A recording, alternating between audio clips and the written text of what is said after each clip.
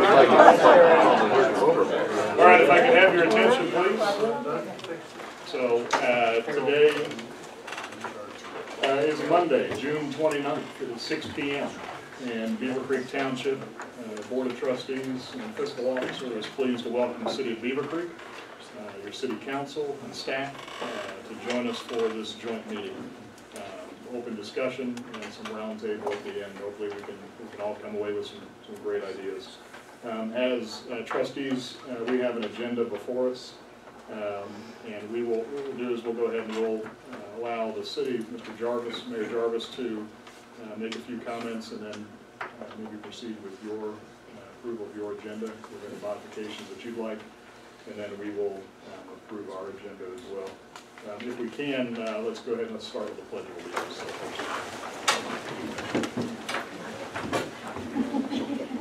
I allegiance to the flag of the United States of America and to the republic for which it stands, one nation, under God, indivisible, with liberty and justice for all. Thank you. Uh, thanks for the, uh, hosting tonight's uh, joint meeting, and, Here. Councilmember Here. Councilmember Petra? Here. Councilmember Upton? Here. Councilmember Woolley? Here. Vice Mayor Wallace? Here. Mayor Jarvis? Um, We have an agenda on on our city council agenda this evening, are there any items to change on here? I think we have, uh, we have one title change. Uh, you know, We, we've had a working title called a trash district, but for work session purposes, we've evolved to joint waste collection contract. A Little, little bit better flow to it. So that's a proposed amendment on the top. I'll make a motion to amend item D number two as joint work, Waste- waste collection contract, sorry. Second. motion and a second, all in favor? Aye. Any opposed? Thank you. Mr. Mayor, now that um, we have an agenda, an amended um, number two, I would move to approve the agenda as admitted. Second. As amended. A motion and a second, all in favor? Then Aye. Aye. Any opposed? I'm trouble. Thank you. Uh, the agenda, and uh, if you shortly go through this, um, Very good. Uh, Trustees, before us, we have uh, two agendas. We have uh, the agenda from the city of Beavercreek, and I'll look for a motion to approve that and adopt that as part of our agenda this evening. Um, Also look for a motion uh, to uh, move the Mercer study update to the roundtable discussion portion of the evening. Instead of having the, the title thereof, I thought we might just say Mercer Study ex- explanation or ra- rather than update. right, I think again, but we're gonna move that to the roundtable Okay, as discussion long as it's put into the round table, I would then approve the modification of the uh, agenda. Ms. Graham? Yeah. Mr. Paxton? Yes. Mr. Price? Yes. Thank you. Um, Discussion items that we have before us, uh, the US thirty-five project and project update. And I think that we have uh, Mr. Mormon here, uh, Center City. And is uh, Ed here? this evening? Okay, but you'll be handling that portion. See, I don't know, You need the, the screen? no, that's, that's quite all right. Um, I don't know if the format you have, I should prefer I speak from the podium, or if I can just stand up and, Um, but you can- you can come right up here if you like. no, Need a that'd be fantastic. Work my way through here.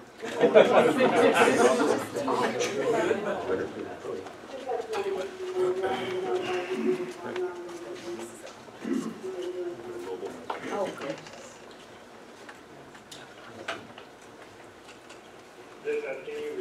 Yes, uh, thank you. Yes, uh, good evening, everybody. Um, Happy to talk a little bit about the um, US 35 project. You know, it's a, it's a pretty exciting time right now. Um, As you all know, ODOT is preparing to submit the, uh, the latest uh, TRAC application to try to secure funding for, for the project. Uh, In talking to them today, just, um, I'll briefly go through what they intend to apply for and how they intend to structure the application. Um, The first part of the application, they're gonna be applying for six million dollars in right-of-way funds for the, um, factory um, orchard portion of the project. Um, And of that, you know, as you know, uh, Beavercreek, we have a project to improve Shakertown Road, where they're gonna, we're use seven hundred thousand dollars of that project towards the local match for, for the application. Uh, In addition, the uh, Beavercreek Township and Greene County have each pledged fifty thousand dollars uh, towards that application. So we'll have hundred thousand, or eight hundred thousand dollars in local matching funds uh, when when they go ahead and apply for that, that six million in, in right-of-way monies. Uh, Another component to the application is they're gonna be applying for twenty-four million dollars for the completion, complete construction of the uh, Valley Trebein interchange. Um, For that portion, they'll be asking for hundred percent TRAC money with no local match involved with that. Um, And of course, if everything works out, what they, they also have some original um, earmark money left over from the original to get to this point. Uh, Their intention is to use the remainder of that earmark money, if this application is successful, to go ahead and complete the uh, construction drawings for the Valley Trebein interchange, and to go ahead and, and and get that thing built if they get the funding. Um, Additionally, they use the remaining earmark funds to complete the right-of-way monies for the uh, factory orchard portion, which would allow for them to go for a design-build application for that component sometime down the road.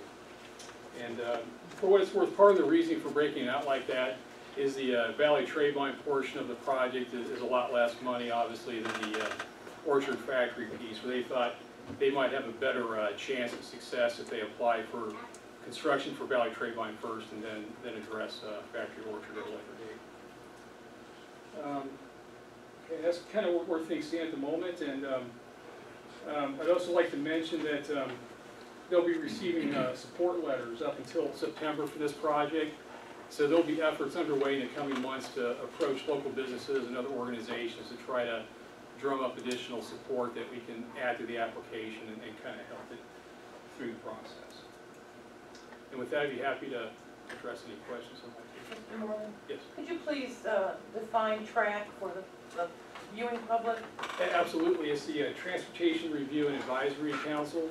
And what that is, it's actually a, a part of the Ohio Department of Transportation. It's the board that, that makes the uh, decisions on, on major new projects where, um, like each district in ODOT will have an opportunity to present applications and state their case to this committee, and they'll make the ultimate decision whether ODOT money will, will go to that project or or not.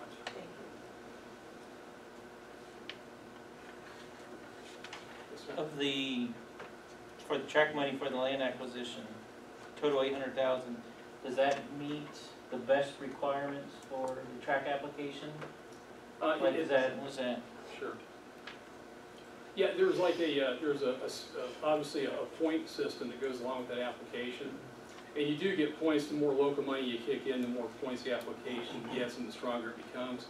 Uh, the first uh, tier is, is eleven percent. Which we, we're at, I think like thirteen percent for the right of way, so we would qualify under, under that, that lower tier. Uh, there are opportunities, if there were to be more money, we could get more points, but the next jump is like twenty-one percent, I think, to get, get additional points. But what, what's nice about the- the way things are set up right now is with, uh, the township, the county, and the city all contributing, we actually get points for the three jurisdictions coming together and, and all contributing, whi- which will ultimately help out. Right, my biggest concern is the portion of land that's contributed to the project isn't where the proposed construction would start. Well, it, it's It's, again, the land is in the factory area for the Shakertown, the most expensive connection. But they're now talking about starting all the way at the other end, where the land is Right. contiguous. right, and that- It's that's an kind of, interesting move. Two components. yeah, that's, that's why there's two components to the application. They're, they're sensitive to the fact that, you know, Beavercreek is contributing to- towards it. So, you know, work for that money should be happening in Beaver Creek, which is why they broke it up into a two-part application where the money that, that the city's contributing only applies to that application for the right-of-way money, where zero of those dollars would go towards their application for the construction of Valley Trebein. That would be hundred percent TRAC money, uh, request in the application. So they are not requesting any match for that at this point. That's correct, it would be just hundred percent TRAC money at this point. And your, and the, the, the seven hundred thousand coming from the city is going specifically to the Shakertown improvement project. I mean, it's going to the project as a whole, but you're being credited those dollars. Sure, and that's, what I should explain is, you know, they, uh, they credit, um, not only the local monies, but also the federal monies that we received to improve Shakertown Road. So that seven hundred thousand includes both those MVRPC monies and, and city funds. And that helps us get to that eleven percent. Exactly. right. It's a wonderful thing, because we were gonna have to do it anyway, so. Right. And I think it's part of the project. It's in the project area. Right, yeah, what we're proposing to do on Shakertown is, is one component of the, um, Orchard Factory plan. Personally, I applaud the city for uh, your efforts on Shakertown Day interchange um, as it dumps onto thirty-five, as well as the connector coming, if you look from, if if anyone travels Yellow Brick Road to Factory and tries to turn right, left, or go up to Alpha Bellbrook, uh, at five o'clock, it's a challenge. Um, So, um, the creative approach to apply those dollars, but yet maximize the, the- the stretch, if we'll call it that. Um, And I think the township, we've been talking, Mr. Zaharieff can explain in more detail, but uh, the township is talking a similar approach as far as some of the surface streets um, that fall in the orchard, uh, Valley Springs, uh, north and south of thirty-five. So as far as being able to leverage those um, local dollars uh, to the maximum value. So, yeah, Kind of piggybacking on what you've done. so. Yes, the township's looking at next year, um, going after grant money through Ohio Public Works Commission to do a lot of the artery roads that lead up to the overall intersection to, when we talk about factory, we talk about factory and orchard as one intersection. Um, so we're gonna look at going after that funding next year, um, and hopefully have some of these roads, much like Shakertown and, and, um, these artery roads that lead into the access roads to the ramps, um, those will be in place before the project starts, so that the businesses as well as the residents are used to the new configuration of those. Just one last thing, if I could mention, the, uh, the hearing date is, is the first of October for this project. And, um, ODOT, they- they stressed to me how important it is for local officials to, to show up at the hearing. You don't necessarily have to get up and speak, but they'd like to see the support, people showing up and supporting the project. Will Ohio you, University. It is, same as last you, you'll remind us of that and tell us where that is when that gets closer. I will, I'll send out an announcement. Mr. Norman, how much is the county contributing? Uh, fifty thousand, correct. Thank you. But they've also done some engineering things, right? Not on this project, but some others, so. Yeah, not, not so much on this one. Any other questions for Mr. Mormon? Great, thank you. Appreciate. Thank you very much. Mayor Jarvis, if you'd like to lead the next discussion. Next we move on to the future shared services. We'll Start with the fuel station usage. That'll be Mr. Farmer.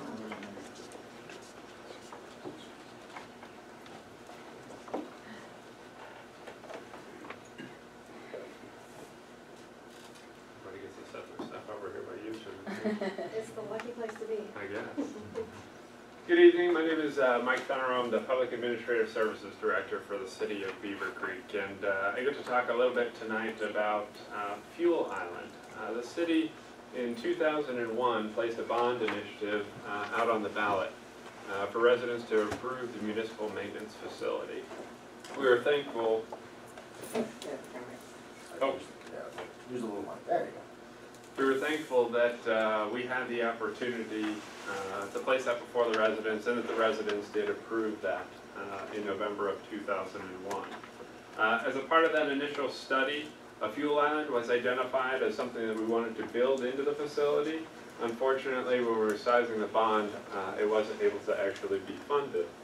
Uh, When we constructed the municipal maintenance facility as a result of uh, good bids and also staying below our construction costs without any overages, uh, there was actually some money left uh, to look at adding that fuel island. So in 2007, City Council uh, reviewed a plan for our fuel usage and actually adopted um, an engineering proposal to build the fuel island in 2007. So in 2007, we constructed our fuel island. As a result, hoping to uh, be able to respond during both natural and man-made disasters, having fuel on hand when we need it for emergencies, and also looking at some poten- potential cost savings as well. Uh, The fuel island has worked out to be a, a good addition for the city. And uh, as we were talking about shared services, it was one of the discussion points that we, we talked about possibly, possibly being able to utilize something with the township as well, allowing both their fire and their public service to be able to experience some of those same benefits, both from a public safety standpoint and potentially from a cost savings analysis. I was very thankful uh, uh, with the direction of the city manager to have the opportunity to work with uh, the township administrator to start to look at some average fuel prices uh, for the township uh, for the year of 2014, and also some annual fuel prices for the city for, for the same period for 2014. Uh, It appears uh, that there's a potential that the city could uh, partner with the township and allow the township to purchase fuel through the city fuel island uh, and potentially see about a 10.5% savings if the township were to participate in that process. Uh, There would be some one-time direct costs uh, where we'd have to upgrade some of our systems. Um, Very limited uh, in costs, and we've talked about those with the township administrator. And then covering some additional costs as it relates to purchasing those fuels. What would we, what we would propose is a uh, 10 cent per gallon cost. uh, In addition to what we were purchasing it for to cover some of our additional expenses by adding an additional fleet. And we still anticipate that the township would save, based on annual costs, about ten and a half percent uh, from where you were purchasing fuel previously. Looks to be about uh, sixteen thousand dollar savings if, if the township uh, were to see similar prices and we were to see similar prices of previous years. Uh, Again, um, if the township trustees and city council is uh, interested in staff continuing this discussion, uh, with the approval of the city manager, I'd be happy to continue to work with the township administrator to move forward and continue those discussions a little bit further. Uh, If anyone has any questions, be happy to answer those um, at this time. I have a question. With the increased amount of fuel you'll be buying, is there a possibility for the, to save money for the city as well, because of the bulk pricing? Actually not. So uh, the way the bulk pricing works is that uh, we purchase loads in 8,000 gallon uh, bulk. That's the, the best rate that we can get. Uh, So ultimately, it works out to be a couple of truckloads. It just means that we'll purchase it more frequently. But uh, we're reaching the maximum benefit we can for the size tanks we have. How often you refuel now? Uh, So we anticipate that if we added the township, it'd be about six additional orders that we would have to have a year. We're ordering about 12 times a year right now. Yep, About once a month. It varies seasonally. Um, Obviously, sometimes we're using more diesel and sometimes we're using more gas. The 8,000 gallons that I talked about earlier were um, uh, as a whole. It doesn't necessarily have to be a total. How, how many gallons, uh, of fuel does your um, station hold? Uh, Diesel and gas? Yeah, it's ten thousand of each, so ten thousand diesel, ten thousand unleaded. Um, and just for comparison, the city goes through about hundred thousand gallons a year. About ninety-seven, ninety-eight thousand a year, Okay, total. okay. What did you anticipate, say there was a, a major catastrophe and fuel was cut off? Almost like a white storm we had, you know, Sunoco was shut down except for emergency. Sure. Um, do you have arrangements uh?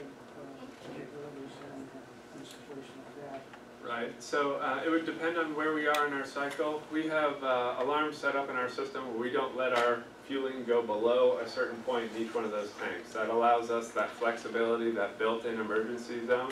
It also affords the tanks the ability not to start to float in the ground a little bit. But if we were in a true emergency, we also have those additional reserves. But we'd also try and make those arrangements to secure those. If we went all the way down to zero, uh, and didn't have fuel, we would be looking, just like the township on, on the private side, uh, looking to secure fuel through the private, private markets.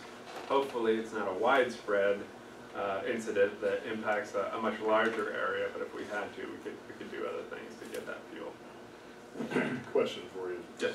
Uh, Operationally, what percentage of your vehicles use that, that fueling station? Is it hundred percent that you go there all the time? Or logistically, does that not necessarily make sense depending on where your apparatus or your, your, your equipment is at? So that's one discussion we've had of, would we use this one hundred percent, or does it make sense to bring an engine and a ladder from across from sixty-four over to fuel here when they can fuel more, more regionally? Yeah. Uh, all of our vehicles fuel at the fueling island at the municipal maintenance facility. To be, to be fair, all of our parks, public service, traffic, uh, are all located at that facility. Uh, things like engineering, planning, uh, and the police department are located off-site, but they all utilize the fuel island. And so the uh, bus, Oh, senior transportation as well, yes, good point. Uh, uh, The senior transportation program, our three uh, vans and and our minivan all use the fueling island as well. Envision upgrades to the fuel station. What upgrades? Uh, So one of the things that uh, we proposed and I shared with the township administrator is that uh, we're required to do a fueling test, uh, to test the tank uh, every day. And right now, we have a period of time blocked off where we don't allow people to fuel uh, during that time. We would propose getting an upgrade to the system, particularly realizing that we're adding another 24-hour user to the, to the uh, list to be able to uh, fuel continuously. And what this upgrade will do is actually run the test. If it's interrupted, it'll start over again. It's approximately $2,000, a one-time cost that would have to have the system upgraded. Uh, That does, uh, as I mentioned, it's a one-time cost, and uh, uh, of course, everyone would benefit from it. Is that the extent of the cost, or is there other? The only additional one-time cost, uh, above and beyond the 10 cent that I mentioned earlier, uh, is fuel fobs. So depending on how the township decided to set it up, whether it was per vehicle or per employee, uh, fuel fobs are, I think there's $70 for 10 fuel fobs. Uh, So it would just be however you set that up. If you wanted to set it up by employee, we could track fuel usage by employees, or if you wanted to set it up by vehicle, you could set it up uh, by vehicle and assign a a fuel fob to each one of those. Then you could run reports accordingly, so it would be up to you. We propose, that would just be a direct cost test under the township, something that you would take. Those are the only two direct costs. Do you have any other um, non-city, I'll call it, uh, users of that station? So uh, how have you discussed or proposed internal or third- third-party billing of this? And how how would this work from a, uh, the administrative flow? Yeah, we do not have any other third parties outside of the city utilizing our fuel island. Uh, If council and the trustees were interested in that, we would sit down with the township administrator and flesh that out a little bit further, whether it's a monthly billing cycle, uh, we, we could figure that out. Mike, in uh, other past natural uh, disasters, have we opened the the fueling station up to other entities on a temporary basis? Uh, No, uh, not at this point. a precedent on that administration. We haven't. Uh, If council and the trustees were not interested in doing something like that, uh, we work with the township very closely. I'm sure we could secure a quick MOU where we could do something like that so that, and- and we probably ought to do that anyway, just to say that during natural, natural emergencies or natural disasters, I mean, certainly we would, we would make that work and of course we'd, we'd anticipate the township administrator, and city manager could, could work that out relatively quickly, especially during, a- during an emergency. since you've had a fuel station, have there been any natural dis- uh, disasters? The only one, the major one that I can remember, Is the when we had a concern about being able to fuel our vehicles was, uh, nine eleven. The hurricane. Hurricane Uh, the hurricane. Hurricane. Hur- Hurricane Ike, Right. Hurricane Ike was uh, the biggest one. That was, uh, of course, the, the most recent uh, tornado that came, but that was relatively short-lived. So it wasn't like uh, many fuel islands were impacted or it was an extended period of time where we're concerned about fuel. Uh, But Hurricane Ike was the biggest one, where they're actually, and I think both the police and the fire experienced that we had to get special permission to fuel because there were starting to be some limitations on the amount of fuel. And our facility was built post-Hurricane Ike as well. That's correct. So That's right. So, Mike, when you mentioned the, the ten percent savings, that includes the ten cents? Uh, Yes, correct? ma'am, Okay, yes. So it's a It- ten percent savings over that? Yes. That's wonderful. Uh, To, to be clear, the ten percent does not include the, the one-time right. direct costs, the two thousand. Right. I just didn't calculate that. But the annual savings you projected was around sixteen thousand, so it's an eight to, eight to one. Should be a very quick return. It should be. And Yes, sir. how do we have our, we have vehicle or employee? Oh, we actually, we actually have a little bit of a mixture. Uh, Good question. Yeah, we actually have a little bit of a mixture depending upon uh, the unit. I- uh, Help me. Dennis, it is done by cars, correct? The police side is done by cars. On the public service side, we have some of it done by individuals because they're fueling multiple things, maybe a lawnmower, uh, cans, uh, maybe a different vehicle each time. So we have a, a mixture of it across our system. Would there be a height issue with the ladder type, uh, underneath that? Yeah, we, we checked the ladder, we checked the height, and I also um, went back and checked the construction drawings for the concrete pad to make sure that the concrete pad wouldn't have any additional stress on it Yeah. from the heavy vehicles. And uh, our engineering team took a look at it and said we shouldn't have any issues with either of those things, so. It's like we were thinking of you when we built it. If, if uh, both the city council and the township trustees buy into the concept, then the next step would be um, putting it to writing, uh, where the city manager and myself would uh, go back and forth on an agreement that would be presented to both sides.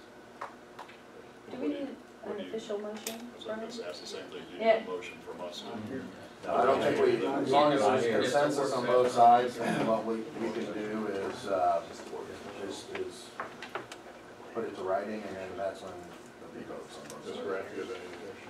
No, I think it's a good way to start. Do you have uh, support? I think it's an excellent. I do idea. too, no brainer. Thank you for the presentation and for working together. Absolutely. Thank you all very much, appreciate it. Thank you. Okay, uh, next item on our agenda is the uh, joint waste collection contract. It's a mouthful. Tax, trash. It is. Trust district. I'd be happy to introduce this, and if Alex, you want to throw a few points in as well, it'd probably be worthwhile. Our council's well aware back in uh, 2008, we did put our waste hauler uh, contract out for bid. At that time, we determined when those bids came back that there really wasn't any cost savings. Um, Since that time, and this has come up annually during our council manager advance, we once again put our waste hauler contract out for consideration to see if a single hauler ultimately would be a better solution than three, now appears to be four haulers in our communities who are there at various days and times, very early at time and, and sometimes very late on Fridays as well too. Uh, it's, it's been fun to work with Alex to look at a lot of concepts, but this is one that once again has emerged on our annual council manager action plan. Uh, I, I would encourage us this time to look at that possibility of adding the township and township residents uh, as part of that analysis to see in fact if it creates a more competitive bid opportunity for us this time than, than what we saw back in '08 and what we've seen since that time when we talked to the uh, haulers.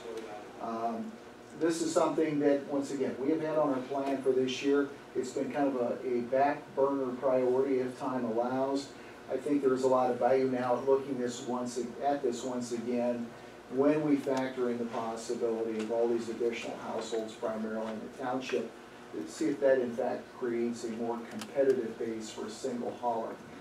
It's simply that at this time, it's a concept, but once again, we develop these concepts, I think there's a lot of value in seeing it for our residents, we can do a lot better with that service in terms of not only the overall cost to a resident, but maybe even control a little bit the parameters of what days, what times, so we don't, both of us get those calls about haulers that are coming in neighborhoods very early in the morning, waking people up, uh, in addition to the wear and tear on the street system and so on. So I would strongly encourage it, I know you, uh, you endorse that concept as well. Yes, there's been uh, several models throughout Ohio where several jurisdictions, township cities, villages all come together.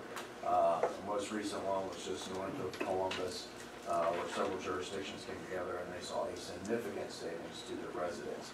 Uh, This would not be a savings in in regards to budget for the city or the township, but this is something that uh, we work together for uh, and and put it out to bid, we can save our residents uh, a lot of money by negotiating that cost for it. Uh, As Mike indicated, besides the phone calls, it's the wear and tear of having those vehicles on our streets. I know the city has five, six days uh, of trucks on the residential streets. Uh, We have three and four days some days um, on our streets as well. So uh, it seems like every day we got a truck on the, on the residential street, um, different company, but just a truck. So you're really looking at reducing the truck traffic by sixty to seventy percent potentially. Um, And you do the math and say you go down to one truck. Uh, But this is an automatic opt-in and an elective opt-out. Is that what the concept is? And this would only be for residential, uh, commercial would be surrounded. And Would would re- be, so, I'm sorry. sorry, would residential still have the option then of picking a different carrier? If they, and so if they opt out, they can obviously go with a different carrier. It depends how we set that up, but yes. Right. Normally, the economics are such that another carrier is not gonna wanna come to this area if eighty percent or more of the residents have gone with. That's correct. Okay, just so we understand the, Right. the metrics.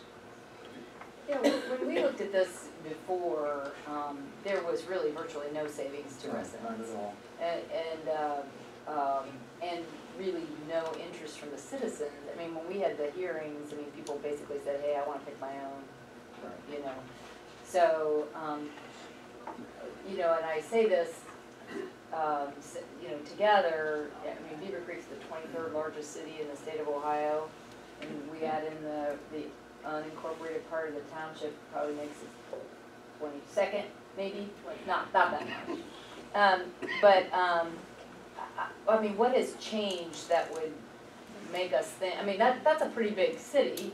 And so, you know, we were told by the haulers at that time, no real savings for that, you know, um, what, what, what makes you all think that we can, I mean, I think it'd be great, cause trust me, I'd like to save some money. I just wanna know what makes you think that now is different than it was a few years ago.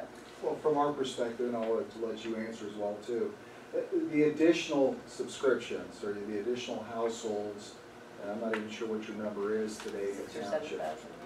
Thousand, yeah. Um, There's a, there's assumption now because this industry has gotten even more competitive. We've Okay, got well, that two would folks that were the, the two primaries have been waste management, they've been Rumpke. Now there's also Allied, and then there's a fourth one that's been introduced in our community as well too. So we, we think now there's a point where maybe there's an opportunity. Because of to look at- competition? Exactly. Okay, well, that makes sense. I just wanted to So I understand what was different.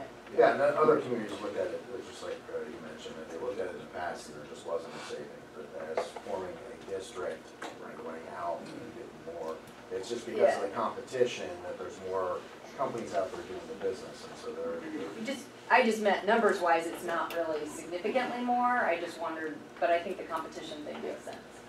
If you have four competing entities and parties now, um, the assumption is that one of those four will wanna take the lion's share of it. Yeah, I, I got that. I was just trying to, I was just trying to understand the, like, the change, I think to your point, though, it was, it was an opt-out provision. right? where That the really got waste people haulers upset. couldn't Guarantee a Right. certain number of users that they were willing to Has to be- commit to that. yeah. And, uh, Will this include the recycling?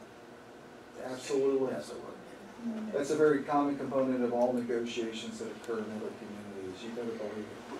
And the type of recycling in regards to the container, that's another one that, Right. that, because, uh, uh, some communities are dealing with, especially with stormwater issues, is that, uh, when you set your recycling bin down, um, you get a wind or snow event or a lot of wind, all that ends up on the street and eventually into the uh, stormwater system. So, um, as the city manager has indicated, we'd be able to set some parameters on type, uh, recycling, in other words, containers and so on. Do they, uh, one of the things I know that's become a big issue for our citizens is that mo- some of the companies offer smaller size receptacles, so like if there's just two people, like in my house, there's just two people, um, you can get a much smaller receptacle and it's cheaper. And so those are things we wouldn't wanna lose in a system. Is that gonna follow up? I guess that's what we do. They just do, So but what- I use very little on Yep. them. I pay by the year, and it's down to like eleven or twelve dollars a month. And I don't know, would I be saving it, but it not, doesn't include recycling, I take care of the recycling, which I don't, I do, another place. I don't know, because I did call the various haulers when I decided what I was gonna do, that any of them come down to that amount. So if you could get it down to that amount for everybody, that would really be good. Can I ask, is that the hauler that has the burgundy color? It's Kugler, It is. whatever, yeah. Waste management. Politically, the green ones. The green ones. I've had it so long. think they call it know. Kugler Waste. Management does that. You Very pay that's a all. year in advance, and it's, it's a significant savings. Oh, okay. Huge thing. I think it's great to investigate them. Yeah, and that's what it is, at this point, investigation. I called Rumpke and asked them for a discount for paying by the year, they said that wasn't anything, that was saving a lot of money. However, they looked up my history and said, well, you've been with us for a long time, we're gonna give you a cut. So they took off about fifteen percent just because I'm a nice guy, paid my bills all the time. And another thing we did look at when we, uh, did it the last time, we looked at the effect on the roadways of having That's multiple correct. trucks. We did, And the answer was, there's no effect. If you look was not that much. Fatigue damage is minor. Yeah, you're right, Jerry, because I remember it so well. It was more related to, once again, the time of day. When were they running through the neighborhoods? Well, they were running through each neighborhood five days a week, Monday through Friday, oftentimes, as I said previously, very early in the morning. And it seemed to be very troubling for some, As so. long as they don't back up and go beep, beep, beep. That's all part of the investigation. I appreciate everybody's willingness to investigate it for a cost savings measure. It's not a huge problem in my book. But I do wanna ask, have we ever looked at the, a joint hauler contract for city properties and township properties together? Cause I don't know what our hauling contract is with the city. Well, what I will tell you is that when, what we did in Fairborn was, we wrote those into that contract, whoever it was, so that the municipality, in this case the township as well, would receive those services preferably at, uh, for free. Oh, okay. That's what was, that's what occurred when I was in Fairborn some years ago. But as an, indi- not going that route, but if you're still on status quo, you ever joined the two entities together to try to figure that out? Yes. It's possible. I know when we looked at it the last time, we looked at the city services and reducing that cost, I just don't remember what it was. I don't know specific. We have more facilities to be serviced than you do. So It might be a, a good thing to really look into. Absolutely, absolutely. And that, uh, Nope. Mr. Paxton? In your, um, investigation into the price of that, did you consider, or would you, could you consider the business district? like Dumpsters and things like that, inclusive in the overall, because that'd be pretty huge, I mean, there's a lot of businesses in there as well. Uh, I don't know if we can. Yeah. In a, in a joint district. Um, I mean, we'll research it, but I, I think most of them are sent between, for residential use only. Uh, but we'll- we'll definitely research it. Ms. Lear? Yeah. Any other questions or comments from council?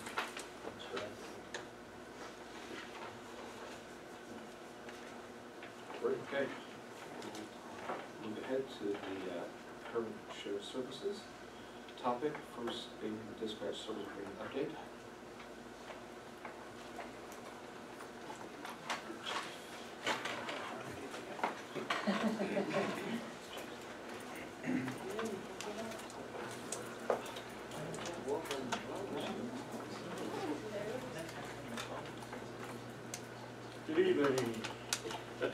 Year, the dispatching contract with the Township Fire Department uh, will end.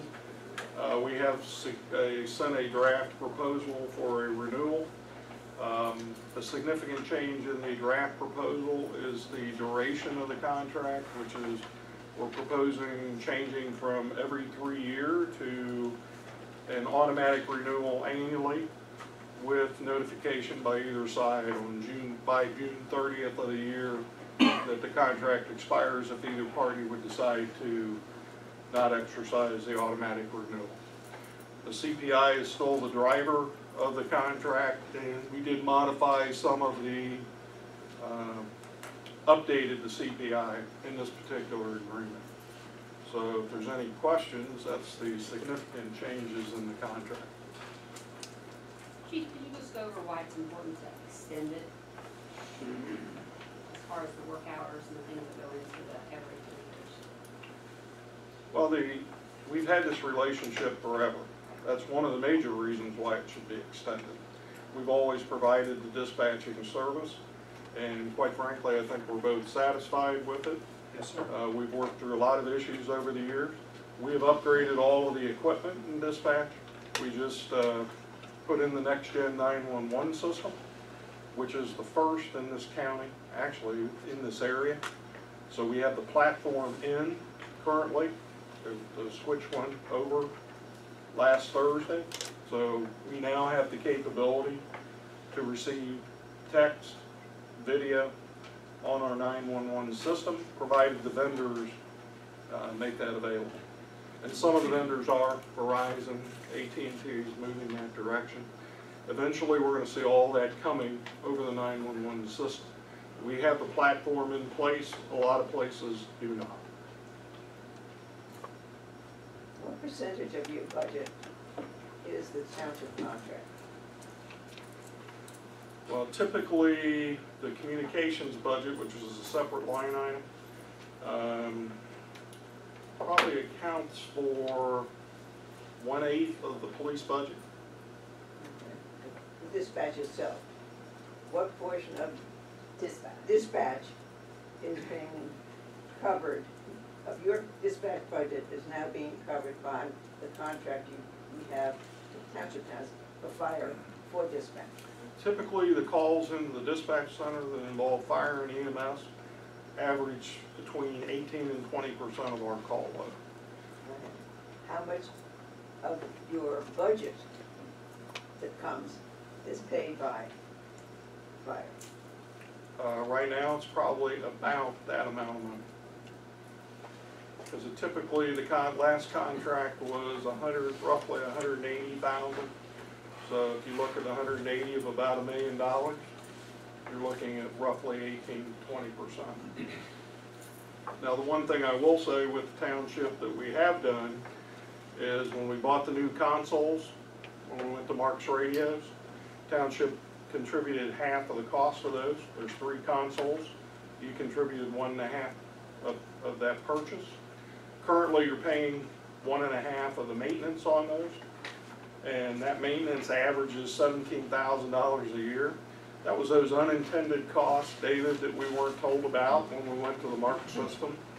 Uh, the costs are extensive.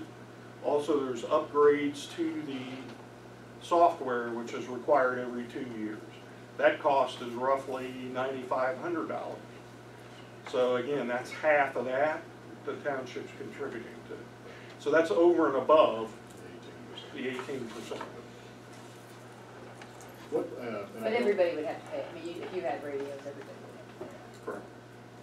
to piggyback off this little question, what is, what was the logic or reasoning behind going from a three-year contract renewals at the end of that to an annually uh, automatic renewal? Well, I think what we found is we, we have no issues where uh, dispatch is concerned. And we find ourselves revisiting this every three years as a formality more than a necessity. So it only made sense to make it more or less indefinite with automatic renewals and addressing it that way. And the automatic renewal is annual, or it's every three years it automatically renews for? It's every- annual. Okay. Unless notice is served. In, in that case, if notice is needed, you just give notice and you renegotiate or you look at other options. And I'll just, I'll throw this suggestion out there, that from a capital planning standpoint, if you can plan on a three or a five-year basis, you have more um, confidence in your decisions. And so my question would be, if the services are of what we need them to be, and we've mutually, we've jointly invested in this system together, um, from an equipment standpoint, the upgrades, and the software upgrades and maintenance, why wouldn't we consider a three-year or a five-year with automatic renewals of, of the same? So that when we're going for a capital plan, we know it's not, a it's not a once-a-year question of, are they gonna opt in or opt out? Because we've really taken a three-year commitment, and I, I appreciate what you've done, but I'm, I'm just throwing that out there and playing devil's advocate and saying, why wouldn't we poke holes in that for? A lot of the contracts are, I found my clients, we start with a three-year deal with automatic three-year renewals, to be honest with you. So you, we'll say, three-year deal, automatic, three, three, three, three-year renewals. And that's what I'm accustomed to, at least from the defense standpoint. Yeah. I'm gonna do it from a different attitude.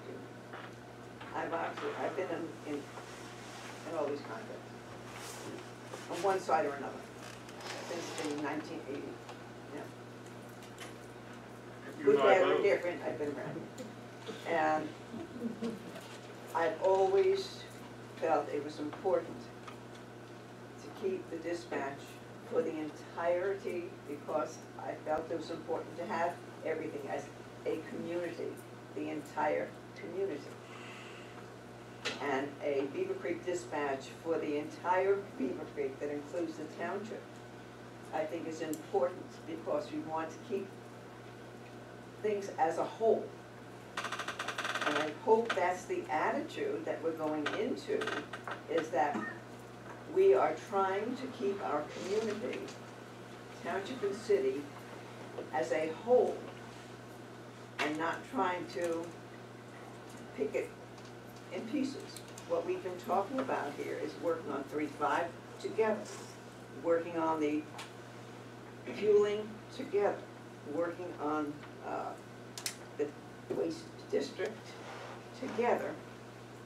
And I think we should be working toward that in our entire makeup of whatever services we provide. So if that's the attitude with which we are going into this, I would follow what Mr. Kretz said, and whatever number of years contract with an automatic renewal makes a great deal of sense, with the assumption that we are trying to keep our community and all the services as much as a whole as we possibly can. I think the, the intention when we submitted that was after we'd had some discussions informally about making it indefinite, not so much driven by the automatic renewals, but it being indefinite with some ability to exercise an out if it was desired. The key to all of this is, this is a service the city's been providing. It's not something the city's opting in or out for. It's really a township to opt in or out, and it always has been. We provide the service. You like our service, we're gonna continue to provide it. We've never opted out and never had a desire to opt out. It was a chief who wanted to pull out, who wanted to get rid of the fire department. And when I was on council, I said, no, that's not what we need to do. So, as I say, the history is up here. What's the current opt-out in the current contract? Is it just like a ninety It, days? it terminates at the end of three years. But it- and is you there have to no opt-out renegotiate. clause in No. it? It's Not a in the current bid? expiration at the end of three years. That's what we're trying to get away from. It's just, Right, everyone's satisfied So- with the service, we're satisfied with the financial part of it. It's just a matter of how could we not have to revisit it every three years? right. Try to make it an evergreen. So, yeah, so, so my, my point is, is actually, um, I, see that, you know, we, we've had a lot of three-year agreements, but having an annual contract that renews unless you have an opt-out, to me, gives everybody lots of flexibility. So it accomplishes what you want in that it's evergreen unless somebody wants out, but should there be a need, I mean, we, we have no idea what's gonna happen, you know, with technology or whatever, you know, moving forward, I mean, good heavens, you know. I think what Mr. Kretz was trying to get at was by having that annual opt-out, we can't plan more than twelve months out. Well, I, I guess what I'm saying is, is I don't, I, I didn't see it that way. I understand now what, you- what you guys are saying, I just didn't see it that way, I actually saw it more as this sort of evergreen thing, but it added a feature that we currently don't have, which is an opt-out if somebody wanted that, but I, I don't care one way or the other. As long as it's working and it's saving everybody money, I'm good with it. Can I add something as the keeper of records? One thing I like about the three or five year is that in three or five years or ten years, the people sitting at this table may be Yeah. very different. And I can tell you, when I walked in, we had this with Rotary Park. Oh, there's a contract? Oh, we do something? I mean, finding the paperwork, finding what, what had been agreed to, and then opening up that can of worms so that we're at, we're at where we are with Rotary Park has been a good thing, but that was a lot of work that Mike and Tim and I spent trying to figure all that out. So from that standpoint alone, I like the idea of maybe both sides revisiting at least three or five years because it does bring either A, new players, or B, it just reminds you, oh, we have this. It's just an idea. Mine is purely a capital planning perspective, so that if it allows you to make, to, to make, uh, more advantageous buys or long-term, longer-term contracts or commitments with software or hardware. Yeah. But, uh, it's an, it's an option. The flexibility of the opt-in, opt-out, um, should be retained for either side, so, but there's, Is there Again, it specific fire-related equipment that is in this dispatch? Well, ironically, one of the issues in the old contract that's going to expire is we had a whole laundry list of equipment in there. But when we went to MARCS radios and all the new system, there, it's down to maybe three or four items, which are listed in the contract under Exhibit A, what those items are. And those are paid for, those are specifically paid for just by the township for those items. And it lists one- the one and a half consoles and some software, Pro QA software, which is strictly a fire. Yeah, we, see how we do that, Carol, we come to the center. Hopefully your half works and our half works, and, you know, we'll work it out. We always, Red line around part of it. Mr. Paxton. Um, I don't, I don't see an issue with the, uh, contracting, uh, we're not doing away with contracting, doing it annually, or renewal. I like the opt-out, um, option there, but, um, I like how it's tried to CPI, uh, this is, uh, it's, uh, usually it's three percent, and then it cents per sleep, so we guess it plan. Um, How is the, um, the relationship with fire department and dispatch? I know in the past there was some issues there with some, Probably the best it's ever been, quite frankly. Um, we work on a, almost, well, several, at least, probably more like weekly, past year, year and a half. My compliments to both of you guys. It's the best it's ever been. Absolutely. The new system that we're working with, the dispatch up is working well. yes. And yeah, we've used, uh, the Pro QA system that the fire department installed. Uh, it's on our server and, uh, we're fixing to, we just put in a new recorder with a new next generation nine-one-one system. And as part of that, uh, we're trying to set it up to where it's internet-based, where you, they won't have to physically come up to our facility to do the quality control checks. They should be able to do it right from here. Uh, We should have that worked out in the not too distant future. Again, the relationship, I, I have to agree with um, David on, is probably the best it's ever been. To answer the concern of the fiscal officer, perhaps as the turnover would come up, let's say we did a three-year with an automatic renewal, as it came up, just reference that at a meeting saying, this, the contract's coming up, and there will be an automatic renewal, and that would be referenced in the minutes so that both jurisdictions would have the indication that there is such an agreement and it's gonna be ongoing. At whatever opt-in or opt-out period you have. Right, whatever the period happens to be. So if it's, a- if it's a ninety day or hundred day or one year opt-in or opt-out, so that each side is acknowledging their opt-in or their opt-out. And I think the intention was to get something on an indefinite basis, but we also recognized we needed some, some way to opt out.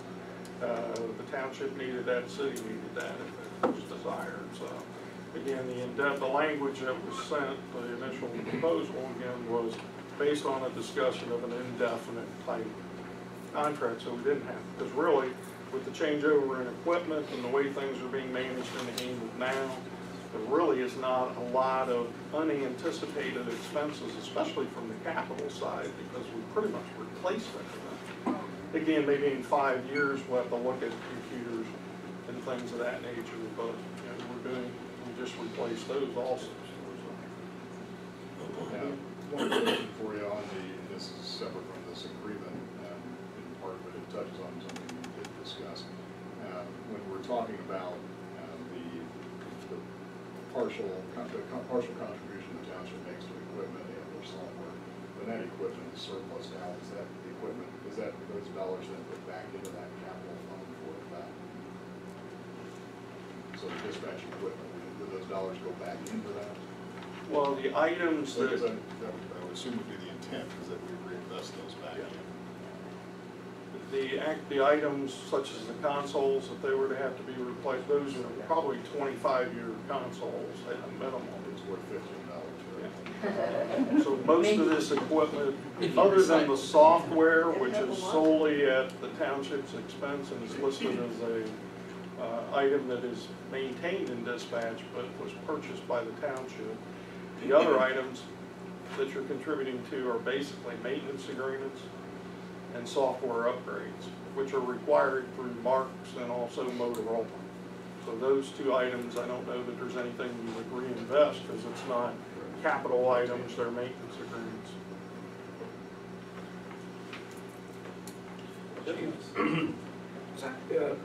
Excuse me, uh, correct me if I'm wrong, but uh, 911 calls that initiate in the unincorporated township currently uh, are go initially to Greene Central now, do they not? Correct. If it is, if it is a fire or EMS call, it's then routed to uh, Beavercreek Police, correct? It is. Will Greene Central be able to route, when they pass that call, all of the enhanced information of the new 911 system? Not unless it comes through our dispatch. Now, will the system, and I'll have to check on that, whether the system automatically will convert that as our dispatch enters it on our end.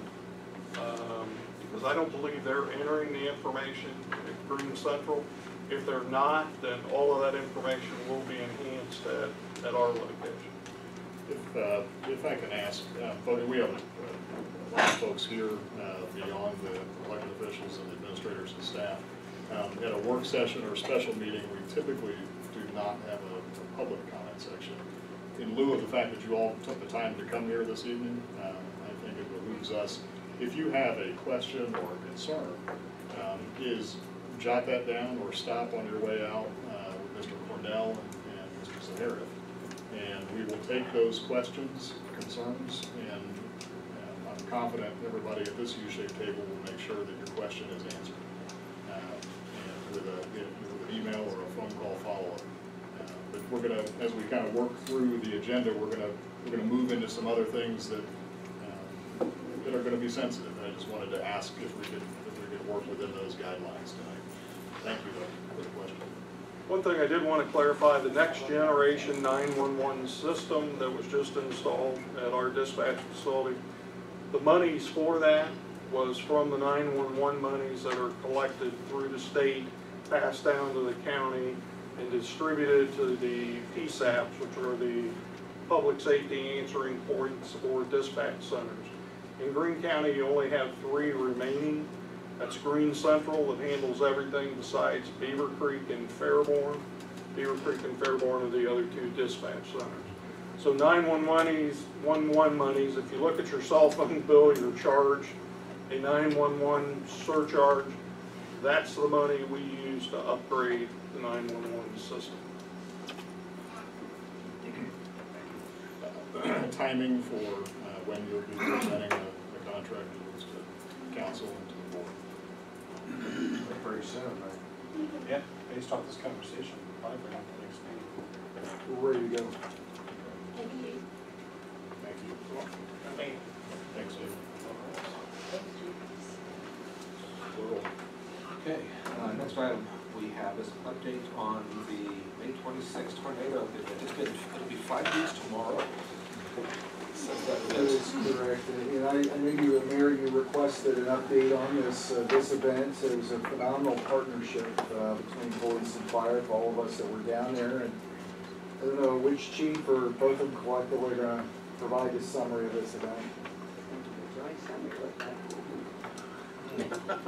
I'll let Dennis take the lead on this. It came into your dispatch center first. so- I think it's our That's pretty good. Uh, Again, Chief, we want to tell you, the- on the way to council meeting, uh, police chief, excuse me. Um, On the way to council meeting that Tuesday night, I got a, a call from a uh, news reporter asking me how the weather was in our area. And I said, well, it's just raining, it's no big deal. And about five minutes later, I talked to you, and uh, none of that problem. So Interesting time. It- It was interesting, and I think if anybody had the opportunity to see the video that the security cameras from the Greene caught with the tornado going through. And then I just talked to someone today uh, associated with El Toro down there, and said they didn't even have their napkins blown off the tables on the outside tables. So think about the dynamic of that, all that damage that was done, vehicles lifted up, thrown against the building, got El Toro's in the same complex, didn't even have napkins blown off the table. Wow. I had a friend in, in the restaurant at the time, El Toro, and he said they had no idea what happened, even when they walked out. That's probably, how many margaritas? Yeah, which friend? He did invite me, so not very good. Not that good for you. Uh, as is typical with any event of this nature, again, this was a, um, the establishment of the incident command system and then the setup of the unified command, which was a police and fire setup, uh, again, worked uh, flawlessly. Course, when you go back and look at these events and do an after-action review, which was done in this case with police and fire, you always find those things that you did well, things that didn't work as well as you would have hoped, and then your lessons learned that you try to apply to any future events. And again, there were a couple issues that we did identify, I know from the fire side, they identified them, and I'll let David speak to those.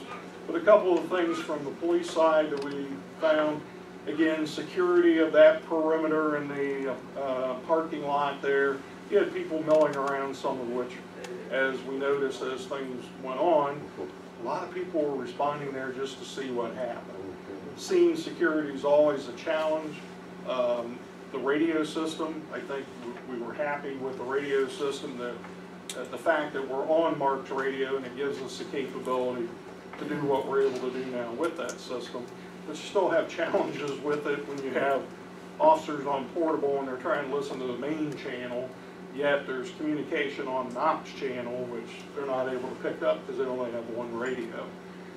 Uh, some other things from the police side, we, you know, recognize we probably need to do some things, upgrading our supervisor vehicles with different remote heads and, the- you know, they have the, the radio system in the front of the vehicle, but when you're setting up a command post and you have to operate out the back side of the vehicle, a little difficult to get the channels changed up front, so you need some remote capability in the back. I know the fire department has some of that capability already, but we need to enhance that on our side, so we'll be looking at doing that as we go forward. But all in all, I think for the event that occurred, um, things did go well. There are things you learn from it, did in this situation. So I'll let Dave speak to the rest of it. Uh, As uh, Chief already mentioned, uh, scene security is one of the biggest uh, issues, especially early on in that large spread a, uh, of an event. Um, And so we worked pretty closely with them to try and get that area closed off. We had a lot of on-the-ground hazards uh, initially and actually pretty long into the incident. So making sure that we didn't have anybody come up and making things worse was a big part of it. Um, we had a pretty good idea of what was going on at Kmart uh, right off the bat, so we were able to operate there fairly easily. Uh, But uh, obviously, that's the starting point with the tornado, and not knowing exactly what size and scope of the tornado it was, uh, looking outside of that area became the next big concern. So uh, we spent a lot of time, both uh, police and uh, fire units, uh, trolling the neighborhoods, upwind and downwind, to determine if there was additional damage, additional injuries, anything that needed to be addressed there. Um, That is uh, ironically something that uh, uh, would be a perfect exercise for a CERT team. And our CERT team attended the training about two weeks after the tornado occurred. Uh, But we do have about 20 deployable CERT members now. So if we have a future event like this, uh, we're going to work on integrating them into the response. Uh, They're trained to help identify hazards, um, work with the law enforcement and fire crews to identify areas that need additional resources sent. Um, They can also do some basic uh, work on uh, triage treatment of uh, injured folks. Um, They can help safety the utilities and things like that. They can be a huge advocate for us and give us an an additional up to 20 people um, off the bat. This incident uh, occurred at a time where we already had units deployed on the fire side for um, some other calls, and so we did not have a full response available initially. Uh, By the time the uh, incident unwound, I think we had all of our units deployed up there at some point uh, for the incident, as well as uh, using mutual aid from uh, several of our neighbors. So um, we're going to be looking for those force multipliers.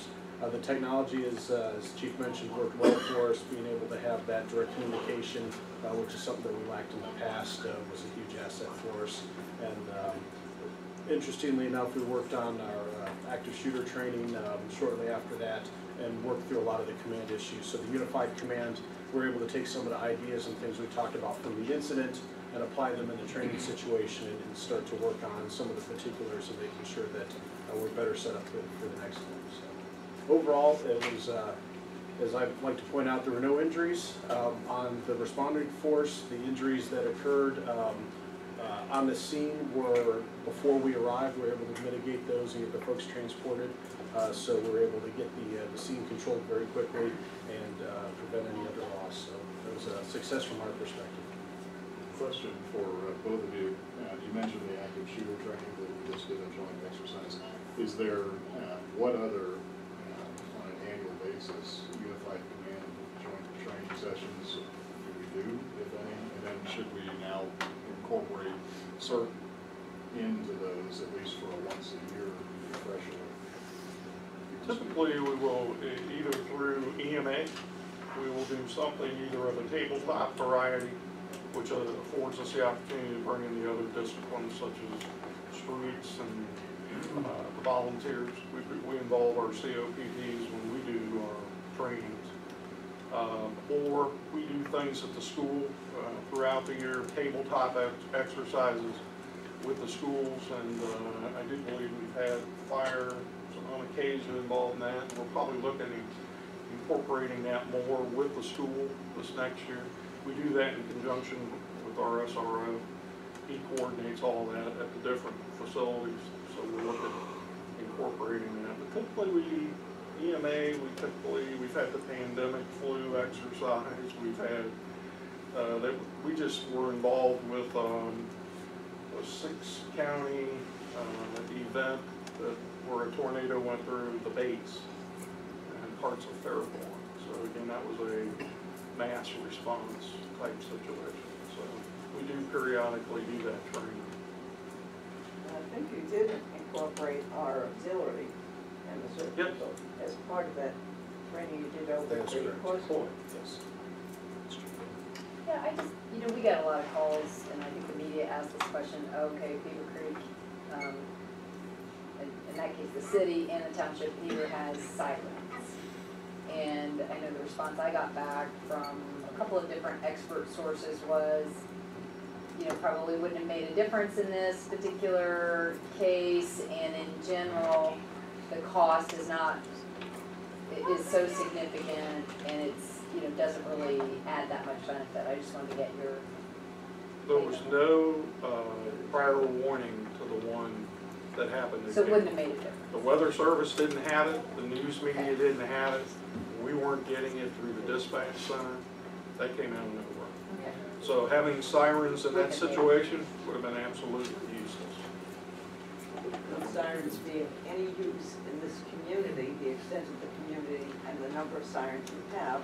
Or are there other ways to be able to alert your populace that people might be more? Well, we have an email, There we have are- a text messaging service already, so. There are other ways. There's HyperReach, which we're all subscribing to through the county EMA, which is our mass notification system. There's Nixle, which uh, the sheriff's department uses and we do, and the fire department does. Uh, That, but you have to sign up, and there is that mass notification through there where you're gonna get an instant text on your phone if you have a cell phone or your residential phone. Years ago, we had sirens, many, many years ago. And they were on the fire stations. A few of them. But people, you couldn't hear them. If you were in your house with your door closed, there weren't enough in enough places that people would hear them. And so the decision was made when they were failing. There was no reason that was fiscally responsible in any fashion, or even security, uh, safety, to replace them. So there was a, um, a positive response saying sirens at that point would not have been beneficial to this community.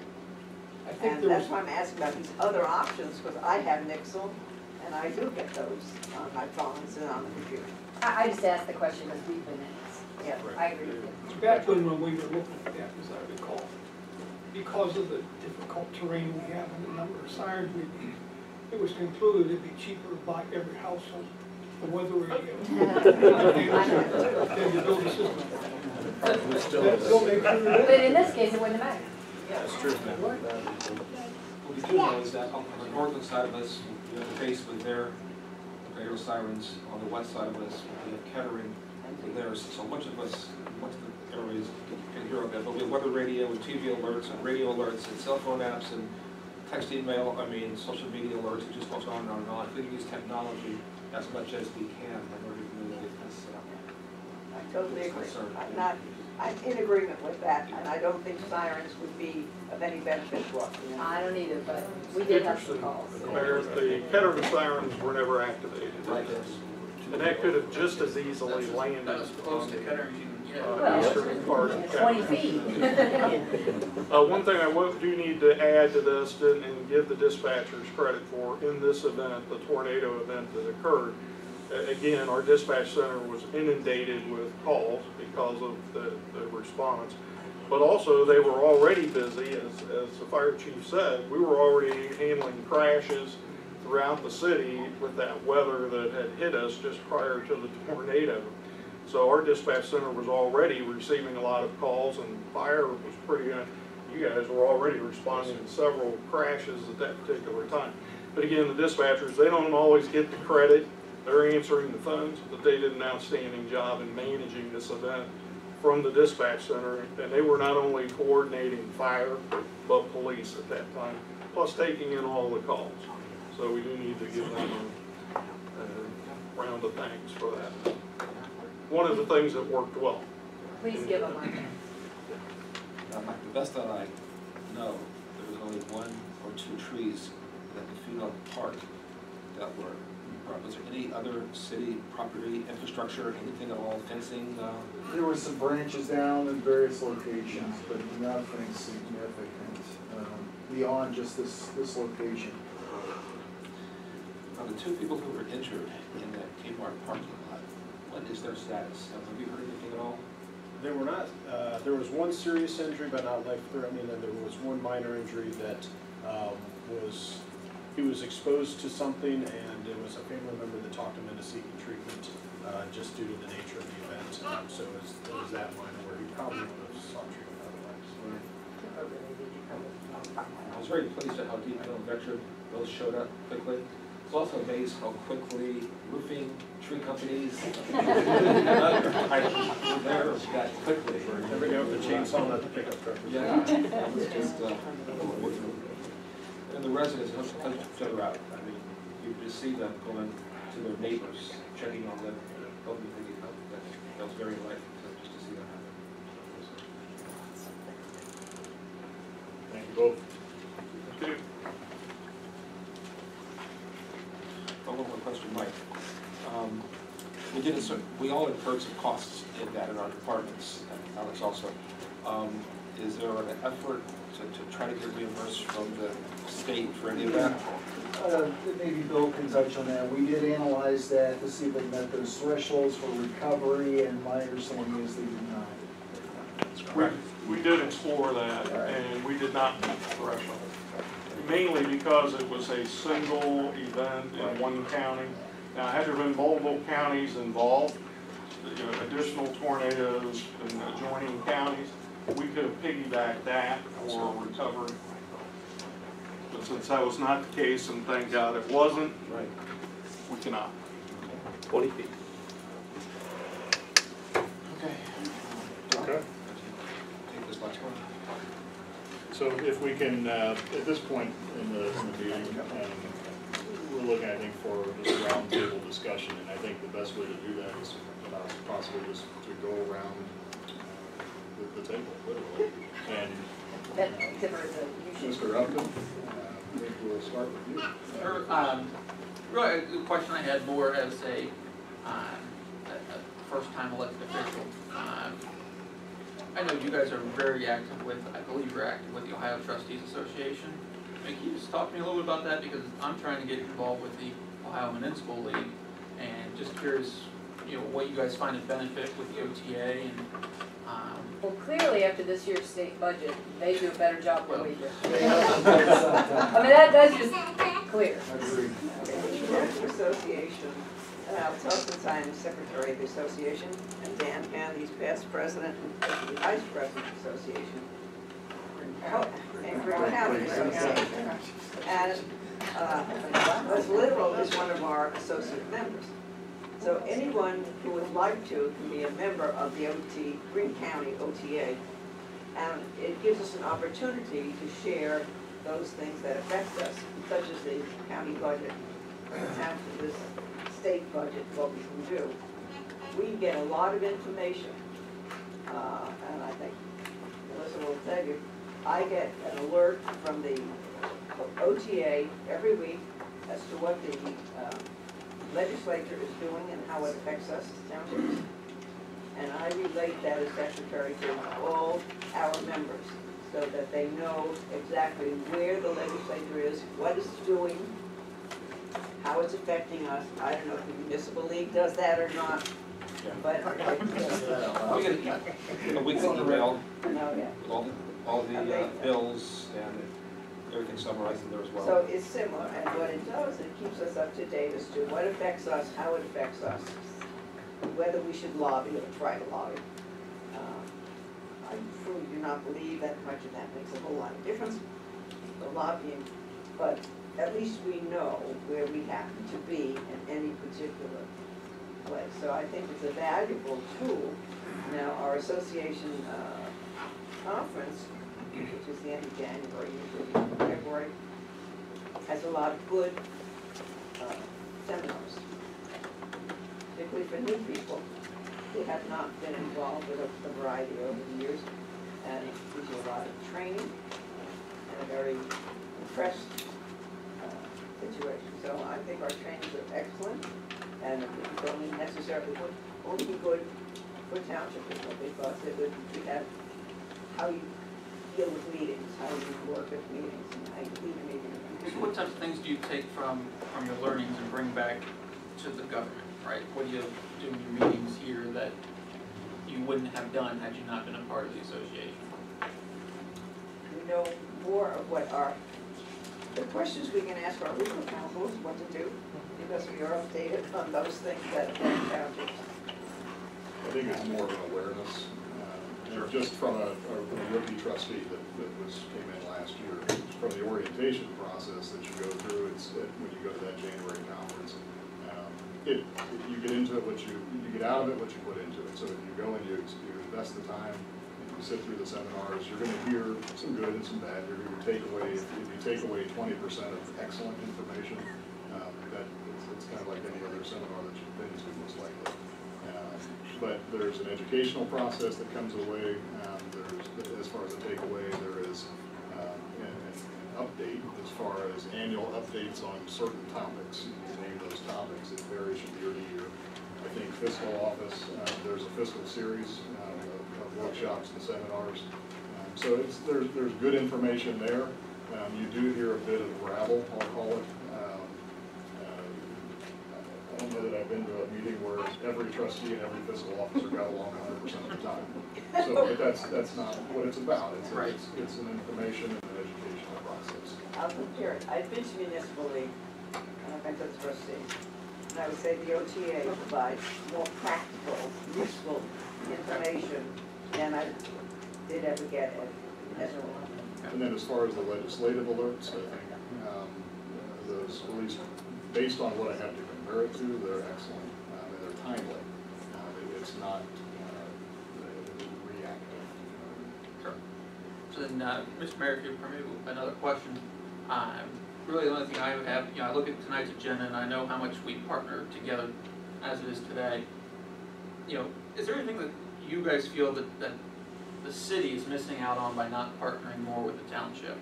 You know, like I said, I look at this, the fuel station usage, that, that's something the city has and, and we wanna partner more with you on.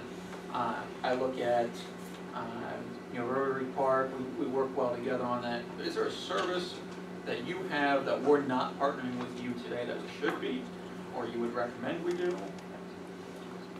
I, I think collectively, we, we had a, we talked about IT um, as a component of something that we could work together on. Or looking around this room, I can certainly see you guys have some IT that we could borrow. Way more Well, you money. use our- you borrow facility, and we use it. They do On not wheels want too, it. Zach. For the record, I voted no. Oh, really not. So, but, um, I, I guess from my perspective, and I've voiced this, uh, for the last couple of years now, uh, I come from a world where you would never pay two people to do the same job. Couldn't agree more. You would never do that. Um, I also believe that all of us at this, you know, from a city and a township standpoint, neither of us does everything right all the time, but neither of us, neither of us do everything wrong all the time either. So I think we have some, we have some economies we can leverage. Um, You know, there are, there are a number of topics. We touched on a couple tonight that I'll call soft topics. Um, There are some that are more complex. Mike Fonero and I have chatted about a couple of those things. I know where Mike is back there. We've chatted about a couple different things. Um, And I think it's really, um, it's time, if it hasn't happened before, maybe if if it has, I wasn't aware of it, shame on me, but um, to maybe have an exploratory committee between the two of us that says, here's, here's all the things that are touchy to talk about, here's some things that are not so touchy. Um, Let's try to pick one of each and talk about them at the same meeting so we can leave at least uh, with, with some good feeling that we accomplished something. But, you know, when you look across the departments, uh, we have an obligation to the entire township, not just the unincorporated, but all of the citizens of Beavercreek. Um, And so I think it behooves us to look at all of those things. We look at roads, we look at uh, parks, we look at cemeteries, we look across the board, and we say, where does it make sense um, to leverage our economies of scale? And where, it is, it's not about headhunting, where do we, where can we cut jobs, or where can we make reductions? But how do we do things better? How do we do things smarter? Uh, We've just gone through, you know, the reason we're welcoming you to our meeting room down here is because we just went through a mini consolidation. uh, Of taking one facility and moving it into another, so that just from an efficiencies standpoint, from a uh, one-stop shopping to the community. So there's ideas that I think our staff department heads um, can come up with that as public officials sometimes they get clouded. And so, it's not a direct answer, I guess, but it's a, it's an answer that says, at least, you know, I'm will, I'm, I'm willing to be part of that exploratory committee. I think it's, I think it's valuable. That's all I've got tonight. Probably Well, I'll- I'll start with a comment about the Ohio Municipal League versus the Township Association. Um, I view the municipal league, unfortunately, as for cities that are mostly already built out and have a different need than ones that are growing. And I saw that fifteen years ago, and it continues that way. Although I will say they're trying to get more programs interested or focused on people like ourselves who are still growing. So I think there's a little bit of different focus on the municipal league than on the township, because the township is still growing, and have open space and adding new things rather than facing build out. Well, as soon as you get to hit, hit build out, you have a different set of rules and different set of, uh, problems, like crumbling culverts and things like that, that were put in thirty years ago. Uh, that's my comment there, but, um, the jointness or partnering, I still feel in my heart that the litmus test of the partnering or jointness is the uh, joint fire department or district. And when that problem is solved, I think we're gonna have jointness as opposed to whatever you wanna call it right now. I think that's a good segue. I think believe, I- asked the chief if he would bring in the annual reports. I do know if we could distribute them, that they did go out in the In Touch, and they're in the middle of the In Touch, but that's quite a- a packet. And so I asked if the chief would bring along so that everyone could have his or own easily carried annual I report. got mine, I this thing too. I'm out the last one. it's meant to be a roundtable discussion, so Mr. Petrarch can ask a question. Um, Kind of posed a, uh, what are, what are the thoughts from, from other council members and from the I I would just say administrator? and Mr. that when I was mayor, Carol and I sat in a room with Alex and Mike and talked about the joint fire district and, and we had agreed to talk about it at a- the next joint meeting and then the township asked us not to, to keep it on the agenda and so, so we didn't. But I, I would say this, um, I've changed my mind about that a little bit. Um, so I, you know, I, I'm of the opinion that that just creates another layer. And part of the challenge for me anyway, and it, and please know, I've told the chief this a million times, I think the fire department does an amazing job, and as somebody who had a fire once, I'm grateful for your profession and the work that you do. Never, I, I think you guys do a great job, that's never been my issue. Um,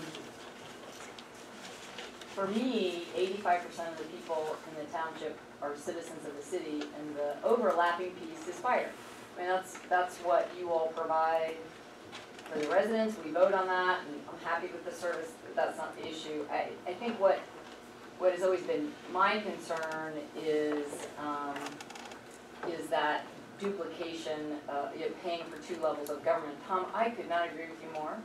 I, I think paying somebody to do the same job, you know, and again, the population wise and, I think, um, dollar wise, we're paying about eighty percent.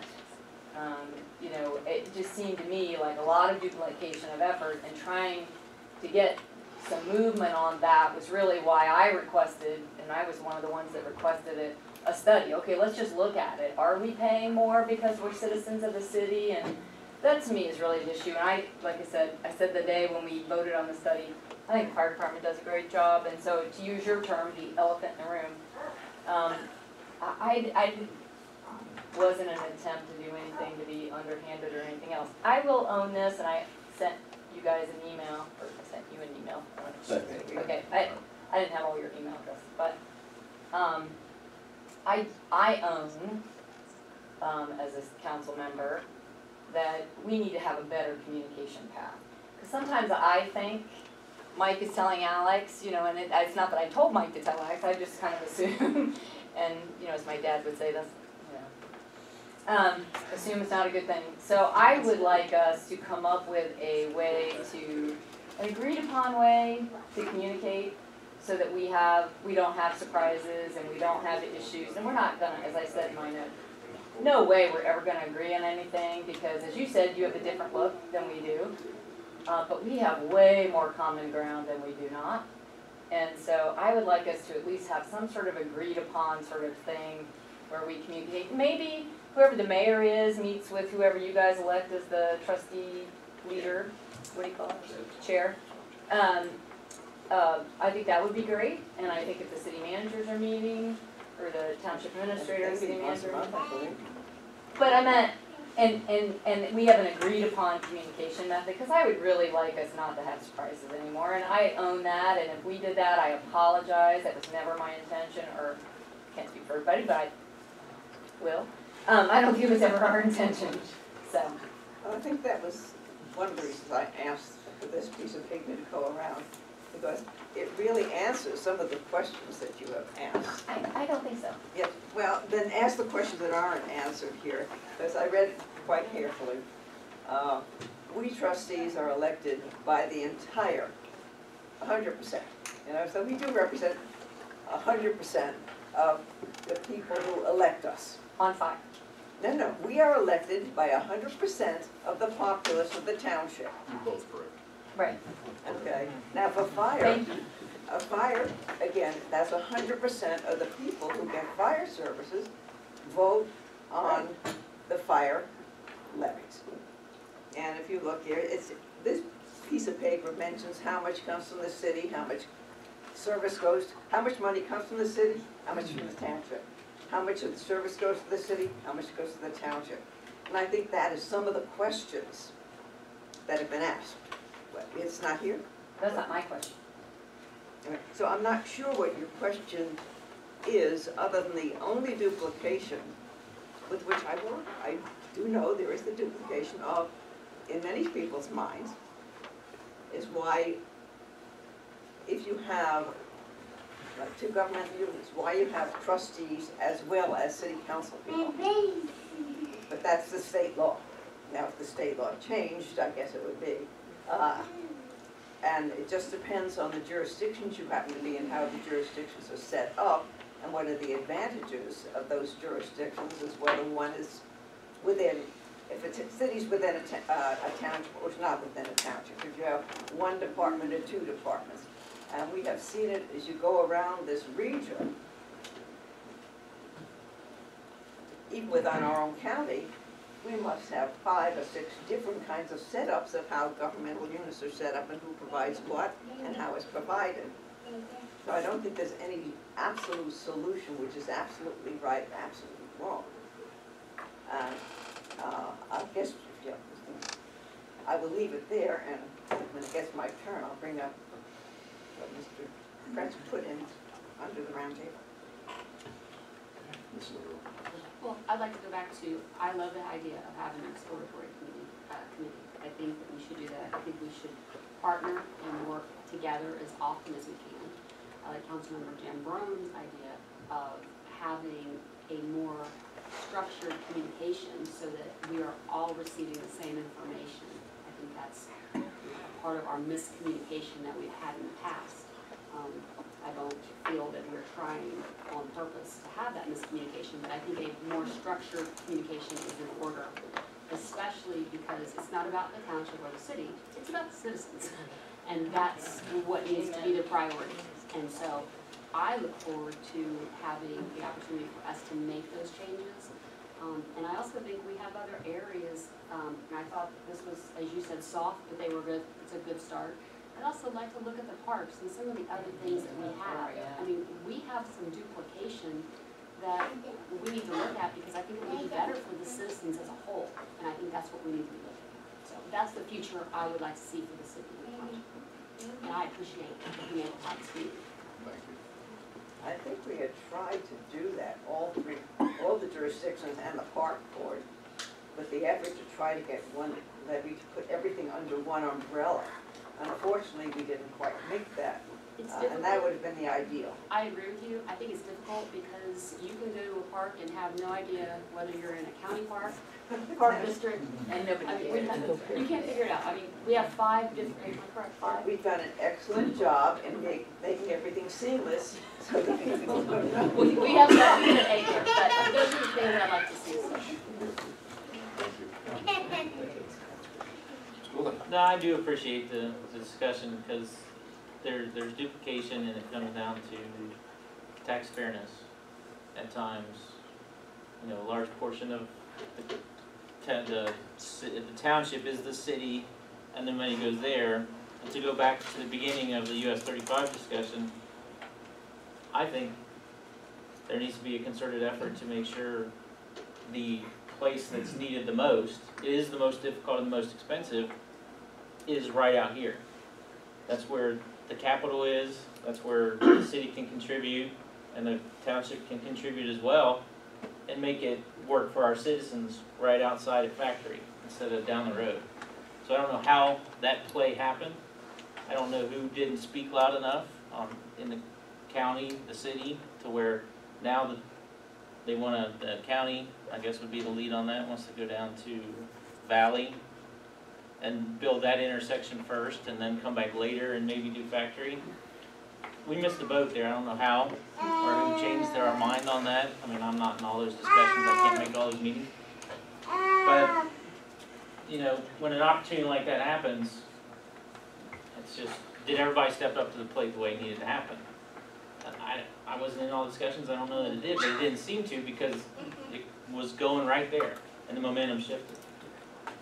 So, I don't know how those things happen with everything the Beavercreek community has. Let me make a comment.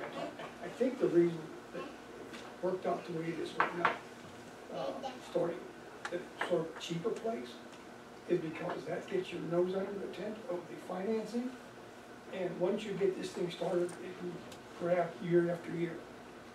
So the, the view from ODOT and from local people was to go for that cheapest way, which would be most palatable for the state.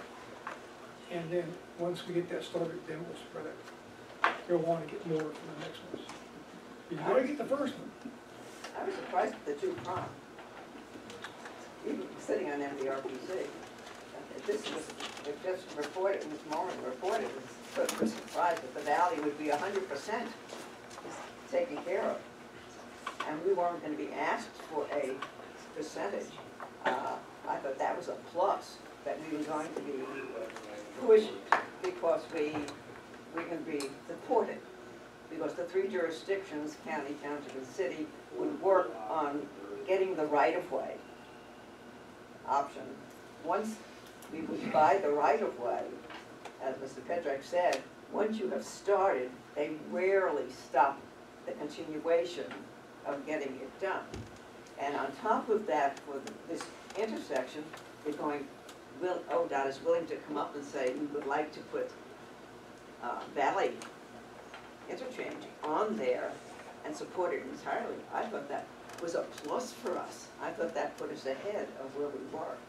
So I don't see that as a negative. I think that was a very positive move, whoever make, got that decision going. Well, I can appreciate that, but it doesn't solve the Granite's problem, right? And, you know, a lot of people, and I hear it all the time, granted, I run in the soccer town. You know, it's been a long time coming, everybody's having challenges down there. You know, and there was huge momentum to go that way. And again, I'm not in game, I don't know why it switched that way. But it just would, for the best of the community, you know, sure, you don't wanna turn money down that's free, but it's not free, it's all ours, but it doesn't solve the problem. But, You want to speak to ODOT's strategy? Yeah, and that was a recent change. I will tell you that the city and the township have uh, been consistent in our message in regards to the priorities of the intersections. Um, We, as a township, have expressed to ODOT um, as well as the county that we feel that Shakertown Factory Orchard is a priority. Um, And to get that, I think what changed last week, and this is just a recent development, is the strategy on ODOT's part to go back to Mr. Petrick's uh, example is, we could probably get that funded and the right-of-way acquisition, which is what we were going after this round anyhow. um, And hopefully get the whole project on the radar and funding and make it a priority. Um, uh, That hasn't truly been finalized. I know the county still has a meeting with ODOT. Um, We have, we've been invited, the city and the township, to a meeting this week in regards to that. But I will tell you, in every conversation, and I'm not gonna speak for Mike, but we, we as a township have agreed with the city that that is the priority. And and we should move forward with those intersections first. okay, well, I'd certainly look for an update in the next couple of weeks, but it looks like October is the next loud speaking pulpit for that. So I, I, I, I think we'll be able to prove that, um, We- We did issue a very significant concern about that approach. We, we asked for further explanation of the rationale. okay, yeah, I don't always get to see those either, Uh, so that's, that's You fine. can read my email, it's pretty explicit. Okay. I I appreciate get it. it. I mean, I, Yeah. I, I called this, county administrator said something, so. Perfect. Chris? No, no, no. Sure. All right, my big thing was I wanted to come away with a formal communication agreement, like how we're gonna communicate so that we don't have those issues anymore. And I, I'm assuming you all wanna talk about the Mercer study, so I don't know if you want me to bring that up then, or, but it, it's really, I mean, again, I, I'd be happy to ask my question now, or I'd be happy to ask it then, whichever works for you all. Um, but, um, so to me, that was a big one. Um, I've always loved these meetings. I think we started them when I first got on council. Yeah. I'm the It old was lady an early initiative. around city council now, so, you know, that's my last year. You'll all be gone, you'll be so happy. Um, so, um, I would like that. in December, in December, no, I'm term limited, I'm happy to do that. So, um, but, um, I did, uh, you know, we've been doing these a while, and even when we disagree, and even when we, we, you know, nobody can be expected to agree on everything. And even when things, as I said in my note, you know, we can all take credit for some missteps, all of us. Um, you know, everybody comes to the table and I think comes at this job with the right mentality about serving the public. And I, I believe that and I believe we're all sincere about that. Uh, we- have different views about how that should work and, you know, I feel very strongly about, um, the, a tax fairness issue and, um, reducing duplication. I feel very strongly about that, have since the very beginning. And, um, and I, that to me is a, an issue that we may never agree on, because I think we do have lots of people doing duplicate work. And while I appreciate that you all, that Beavercreek Township is significantly unique in the state of Ohio. I've done a lot of research about this, it is very unique. And townships were never intended to overlap with the cities in this significant of a way. I grew up in a township, and, you know, where the township trustees mowed the cemeteries. Um, that was, you know, part of the work, so, um, so in, in this case, it is very unique, and so I think we have unique problems because it is so unique. Um, and, um, um, you know, I, I went and visited a lot with the folks in West Chester Township, and, you know, they don't have the same problems we do because they're, they, they don't overlap in the same way. Um, and so, um, um, so, I- so I do think that, that gives us, I, I do think that creates some of the, the issues that we have, so. Um, but I, I would love to have a, some agreement around communication, that way none of us is frustrated more than we need to be. Is that something you guys would be okay with? I- I think, I, I'm not understanding it, I'm, I don't understand exactly what it is you're saying. You're saying that if something comes up that the city council is doing that affects the township, that the communication will go out prior to that going Yeah. on the Well, but we, discussion, or and vice versa? using your analogy, that, you know, we all overlap and you all are, you know, uh, I mean, I would say lots of things. We could even adopt sort of the, the thing that Brian just said about, um, you know, the municipal league and the, you know, if you do it weekly, we could send out a weekly, here's the things we're talking about, or, you know, a more frequent and, and Yeah. possibly more formalized, could be, whether it's quarterly to start with, Or- or or or we make- newsletter, or, or, we make some sort of an agreement that says the two staff leaders are gonna talk about any issue that's gonna be on the agenda that, might affect the other or something, I. As long as it's legally allowed, I know there are things you're not legally allowed to talk about, but. Um, I kinda wanna mimic uh, Melissa on the parking thing, I, I think the levy did fail, but I think we still need to bring that agenda piece up again, we do have three layers still, there's gotta be something that we can communicate, if, you know, with, with the three entities, to, to make it simpler, or to coordinate some kind of, um, togetherness on that, but there are, so, there's so many dollars going out on those three different entities, and I just think it's a waste of taxpayer dollars, so I wanted to agree with that. Um, the other thing that I just want to point out that I keep seeing over and over, and I've heard it again today, is that, um, you know, Beavercreek gets a lot of hits, but one of the things that we do is, we did the, Beavercreek ended up paying for hundred percent of the walking bridge. Fairborn was supposed to be involved and then backed out. You know, on this project with thirty-five, we're paying the seven hundred thousand dollars up front, and you guys are fifty, and Greene, Greene County, which is massive, and they're, they have the biggest entity, is fifty. And, you know, maybe sometimes the state looks at that kind of, direction or involvement or, or commitment and makes decisions based on those kind of things. So- And then the last thing that I would like to throw out, that uh, hasn't been thrown out yet, would be, you know, we have a great police department. Why doesn't the township consider contracting with the- our Beavercreek Police Department than the sheriff's office? So That's an idea. You want a that we history? should Uh, develop. I, I know the. We know I, the I know the history. history, I'm just saying, I don't from think- today in the future, I don't, I I don't don't need to think go we've back ever, to the history. I don't think it's ever been taken off the, the table. But I would say that in, from the township resident, of which I am, Well, am city we are. township resident, right?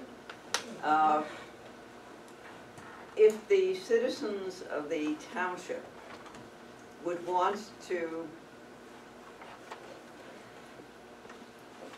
ask us to contract with the city, and at this point, it's a cost matter, I'm sure that if they were guaranteed the same service that they believe they are getting now, at the cost they are paying, there would not be a problem. But you But guys are right I now in the hole on the, on what you pay towards the sheriff's office, as far as you, you run in the red on that. Well, we are now, yes. But we had money there, you know, it's, uh, we would, I do not believe, uh, or show, what's? That it would take more than one or two mills increase for us to, and I haven't looked at the numbers, I, we're gonna do that next year, to balance the sheriff budget, if you will. I think the city millage is significantly higher for police than the township would have to come up with to balance that. There was a huge difference when we did balance it together, and then the city, the township residents chose not to renew. It's just an idea, there's something. Oh, yeah, I'm not saying we should. I'm Can I ask a that question about what Carol just said, is that, I mean, is that okay? It's a round table. Okay, so, do you use money out of the general fund? No. To cover the sheriff?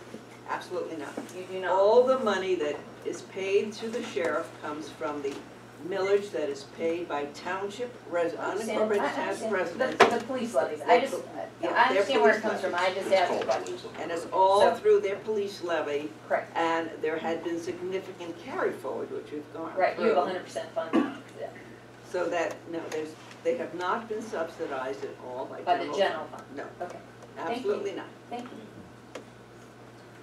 So it sounds like you've thought a lot about this. Oh, absolutely. Have, have you taken it any further than just, than just that? Have you brought in anyone to do a study on it or survey? Have we asked our residents? Yeah, Our yes, residents yeah. of, yes, we are. I would say that we have not gotten any, I've not gotten any complaints on the sheriff's, uh, performing their duties. As a matter of fact, we get a number of compliments, having seen before and after, right? The problems that I was hearing as a township trustee from, and when the city was doing the patrolling, particularly after the township had significantly raised its levy, think it was almost like three point nine mils, to the equivalent of what the cities were, and the city's now higher than that. We were hearing, they never saw the police department, they never got response, they did not believe they were getting what they paid for, Yeah, what but they were these- told. That was The city- history. The township residents. I'm just Yeah, saying but these are things you heard. I wanna know And that's, today. and that today, we get no complaints whatsoever about the sheriff's department, and we get compliments on their service. But have you looked at the dollars? Uh, Yeah, I heard you're running in the red. Yes, Have we you looked looked at the at, dollars, say, and, uh, All right, do you if have any did idea how contract much with- we'd have to raise the millage to uh, cover the No, contract? one of, the- one of the things that's been expressed to, uh, in the last budget hearings, uh, to the township trustees was next year, we're gonna have to evaluate, um, the police fund. Um, When we say evaluate the police fund, that's looking at all our options. That's, yeah, that's where I'm getting No, at. no, that's. And when's the last time you evaluated, I That's, guess? it will be next year because seventeen is gonna have, we're gonna have to look at 17's cost. Uh, because we do have such, as as Ms. Said, we have such a large carryover fund balance that goes into the police fund. We're able to, to Sure, sure, stay in the black in regards to It's the, the- the fund. But the yes, the next year, cycle. next year, we will be, uh, evaluating the entire operations and, uh, needs, uh, for the police fund. I think that, uh, what Carol said about the police never being out there was true. I fault the police chief at that time. Um, And again, that's history. Yeah. It's historical reference. and Well, it- it- So would the process be that you would part of put the, The you bottom would line service is, out the con, or the bid? I think the bottom line That, is that's if a we were to, possibility, we're to look at all the options, uh, in regards to that fund and everything. We're- Perfect, that's where I'm we're- trying to get Yeah, well, Sorry if I didn't word it right. the, the township, uh, at least on our end, is evaluating a lot of the contracts that were currently in place, evaluating Sure. costs and everything else. Uh, so that's, definitely something we're looking at next year. Great. And I think if we were to talk again, we would talk about specific patrolling and things of that nature. We have to be into the contract, which we're in before. But there's, go ahead, Mr. I'm I, gonna I, go first. I, wait, I cede the floor to Melissa first, so she can go, and then I'll go. Well, I would just like to, I would just like to follow, I think it's a good idea to look at the future. I, I like the fact that you're evaluating all of your current contracts. I think that's the- a great way to go. The city does that every year. And you, you, sometimes you find things that you could be doing better and more efficiently. Um, I will say that I think the sheriff provides fantastic service, but I would also say that our city provides excellent services as well. And I think history and all those things, but I think your coverage and your FTEs would be different now than they were back then. Not, my technical, mine's more technical, in the age of, um, shared, well, not shared services, but mutual support, in the performance category, uh, do you track who responds first? Whether it's Kettering, well, Kettering's a little far, Fairborn, Beavercreek, or the sheriff? We talking mutual aid with Yeah, mutual aid, or- uh, no, with police, from in the performance perspective. Oh, they, they, the nine-one-one call goes to Greene Dispatch, and So I does dispatch the the sheriff, so the sheriff does come. Okay. We have, is it three or four? I think there are four deputies We employ four deputies. that are Okay. specifically si- assigned to Beavercreek Township. As a matter of fact, their office is right next door. So they work out of this building, and they patrol here in Beavercreek Township. That's what our contract covers. Good equipment that we provide. And we Yes. provide the vehicles. The, the vehicles, the equipment, essentially, essentially the township uh, employs four deputies. Uh, the township then purchases all the equipment, so the cruisers that you see in the township are bought by the township and owned by the township. That's fine. Which was one of the things we looked at in one of the agreements we were evaluating is, we were buying, uh, the vehicle, the county, when the sheriff was done with it, the county would sell it and it would go to the county's general fund. Um, so something we talked about earlier is making sure that it comes back. Corrected that. Well, I appreciate the patrol aspect of it, because I'm satisfied with the patrol, I get it. Beaver but I'm just curious about who, you know, first response is where it matters for me. But you have four, four officers assigned to the township, but that doesn't, Not What's the one per population? shift. right, I'm, Right. right, I'm aware of your, of your shifts, but those peop those folks, those deputies that are assigned, if they take a vacation day, Then we're not that. But the county also, the sheriff's office has three east-west districts. And so when our deputies are here, that person, or those deputies will then take over. So we always have a response from the sheriff's department if needed. But Most of the other times, yes, we're not covered twenty-four seven because you don't have all your deputies there. But in general, I would say the response that we've gotten from our people that they're very happy. I would also tell you, the reason we're really truly evaluating the levies is because I believe the levies are at the nineteen eighty-three level. And so they've not had an increase, other than what the city, what we did with the city and then they dropped it. And I do not believe that we will have a difficulty uh, getting that increase to cover what they're getting now.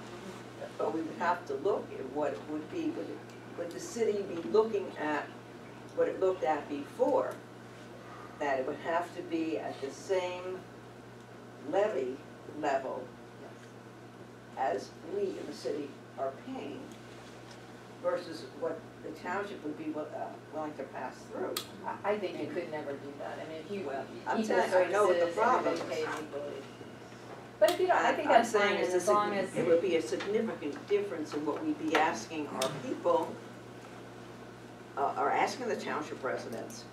And you, having uh, two levies recently, know that it's easier to get a smaller levy than a larger levy. And if you're asking for maybe one and a half or two mills, or you're asking for five mills, you can get a much different response. And that's the concern that we'll be looking at, and I think that's pretty much, the township residents, I believe, are paying at this point, overall, a difference of uh, eight to eight and a half mils less than those of us who live in the city. I think to answer, uh, maybe to, to piggyback on your question, I think number one is, Sorry, I mean, I, now it's the unincorporated. No, this goes right to that point. Now it's about the unincorporated part, Yeah. Right? Not the Not whole. township. And I just, But that's all we are responsible for in that. We You know that, it both Carol. You can have Know it both ways. Well, you actually can if it's, if, Well, if but the I mean- service is separated. Right, but So, that's- But, but we're talking about, one Well, of the that was things that we, point I one of the things we've been talking about is areas where there is, where there is duplication between the two Yes. forms of government, okay? And the areas that we're most focused on right now, there's no duplication. We have one fire department. We have one police department who covers the, the incorporated, and we have the sheriff that covers the unincorporated. There's no duplication. Where we have duplication is in parks. And I think Mr. Thonero will remember when the Park District levy campaign was based out of my business. Those are things that I think, it was a good idea then. Why is it not a good idea now? I couldn't agree with you more. I think my issue about But let's, duplication. but let's focus on areas that are duplicate, because I think until the end of time, I think local governments will argue, in this case, is the city the redundant form of government within the township, or is the township the redundant form of government? Which was, it, it, it, it doesn't matter. It doesn't, We have to right. fix, where we have duplication, let's fix that. I, I just wanna say, my issue, and I, Carol's heard this before, is the 0.5 mils that the citizens pay to the township. And Carol indicated to me in a meeting that that money goes to run the fire department. No, I didn't, I never said that. Okay, well, maybe I mis, I, I, I made- can, can I just finish? Okay. Yeah, I, I might, I may have misheard you, but that, that was one of, was my understanding. And so my issue has been that part of the duplication, so if that money goes in the general fund, then that goes to pay for your HR department, that goes to pay for lots of different things. Sure. And that to me was the duplication, so I wanted to explain that. Okay. And so if it goes to the fire department, it may not, I, I, that was just my understanding. Then that to me, it means the citizens are paying more. And I just, to me, that, that's the part that is, is challenging when you're talking about if you're using general fund money to duplicate things that we already do to get, do at the city, that to me is where the duplication is, not in the services, so, that's a much better way to explain it. yeah. Articulate thing.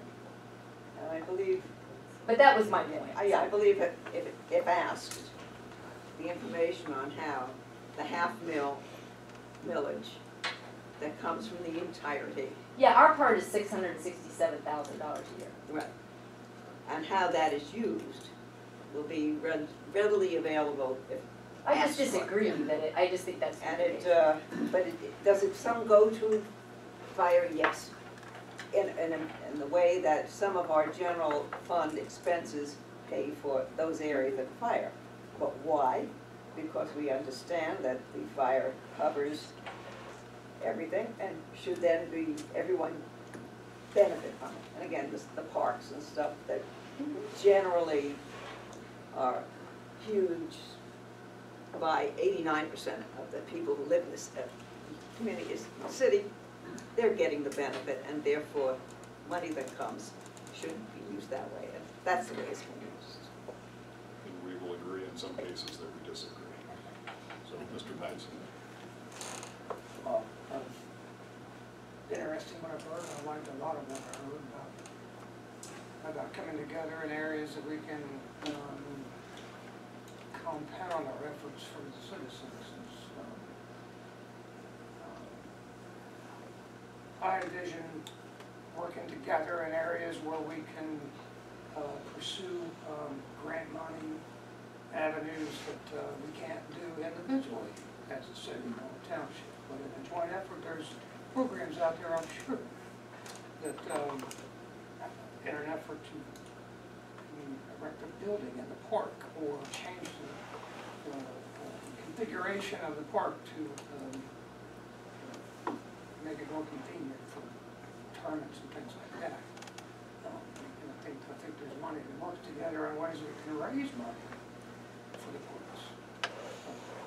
I, I don't think we've ever explored that, as the ones in there, I don't know of any committee between the township and the, and the, uh, uh, city to truly look for ways, um, to enhance the community for the citizens. and and jointly, um, together police each other and uh, pursuing levy money for, uh, uh, pursuing levy, levy money out of the taxpayer. I think we should scrutinize each other's effort to do that and make sure that uh, when we do put a levy on the ballot, whether it's for police, fire, whatever it is, that we can say that we've honestly beat it up and there's no other way to do that than to get the money we need. And Spend on uh, Carol's comments about a minimal levy. Um, I think people expect um, increase you know, over the years. And I think they expect to pay for increases over the years, I'll even if it's whatever it is. But, um, big jumps, you know, and things like that, I, I think that, uh, raises the flag and I just think we can beat things up when a levy gets put on the ballot. Place, uh, if it's city or township, we've all beat it up pretty good and we can rest assured that, um, that we're all confident it's gonna do what it says and then we, then we say, what- then we do what we say we're gonna do with that money. And we publicize, we're doing what we said we're do with that money. I think that's credibility and accountability to citizens. I think that goes a long way in getting support from the citizens on things that we come together and want to do. Um, There are differences in the forms of government. I think that's um, unique for the community. I think it's, I think it's wise. In a way, it's kind of competition. Um, But I, think that uh, the township can do things for the community the city can't. The city can do things for the, for the community that the township can't. And together, we can do things together that, uh, we'll never try. I think we can do a lot of good things. If you put your minds together and start thinking along certain lines, and ideas are generated. But I don't think we've ever generated any ideas about working together, because we never really worked together. So you can't, you can't generate ideas and working together if you don't work together. So, um, that's, that's kind of my thought. I like the direct line of communication. Uh, Politics is, um, uh, I won't say politics, disagreement is a good thing. It's a good thing for the taxpayer, um, because you beat that, you know, when you spit something out, you beat it up and, um, at least it shows that you've given some thought, you know, when it's out there, so. I like, I like good earnest discussion about things and, um, you know. Um, another thought is, um, um, along the, levy, the police, the policing out there.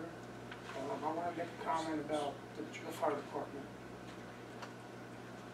And this, this goes to, um, uh, the the eighteen to twenty percent that we pay for dispatch contract. And the eighty percent of the money that the city's citizens, township, city citizens, whatever, the township citizens inside the city. Now, Correct me if I'm wrong, Dave, but eighty percent of the road go goes to those people.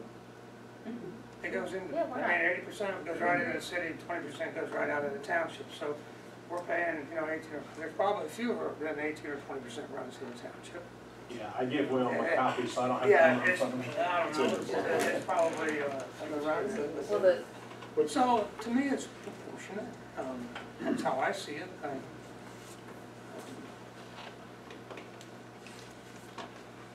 That's, that's my, and, and I wanted to say, you know, the city parks, we have worked together on that, we came close to, um, well, we did work together on that, the senior center, I think we'll work together on that. And it's a pretty nice facility, we were invited in to the, uh, look at the expansion of that as trustees.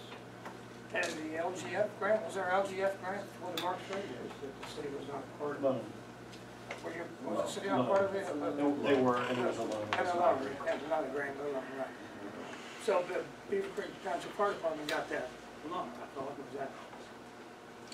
So those are, those are areas that, you know, we have been working on. I would just like to see it just works. Thank you. That's, that's great. I guess my question would be, and Mr. Stephen Brown understood what it is. I would like to know what the Mercer study is, what it's studying, and why the study was, uh, con- contracted for. You want to introduce that one? Well, well, let me, let me start this off as well too. I can tell you, when I came back, a little bit of background, Carol, when we came here in oh-seven, when I came back in oh-seven, it became very apparent that we were having a very difficult time getting revenues and expenditures to line up. In other words, we were not in a position where we could ensure fund balances. Uh, And today, as a result of that, we carry very minimum fifteen percent fund balances in all of our major operating funds. As a result of that, back in oh-seven, I convinced my, uh, my finance guy in Fairborn to come down here and help me figure it out, and Bill's done a great job. Hired him in Fairborn, hired him in Big Creek, done a marvelous job. Uh, But our challenge has been, how do we make this thing work? As we have got together with council annually, we have pretty much picked off every year a service that is provided or a service we simply pay for and look to see, to ensure we have not missed anything in terms of either looking at better ways to do it, looking at it to do it more efficiently, or in fact, is there a- an outside source that make it do it better? Just to give you a couple examples, in this eight-year period, we've looked at animal control, we've looked at, as we talked about earlier, waste hauler, can that be done more efficiently, more effectively, not directly to the city in some cases, but at least to the residents.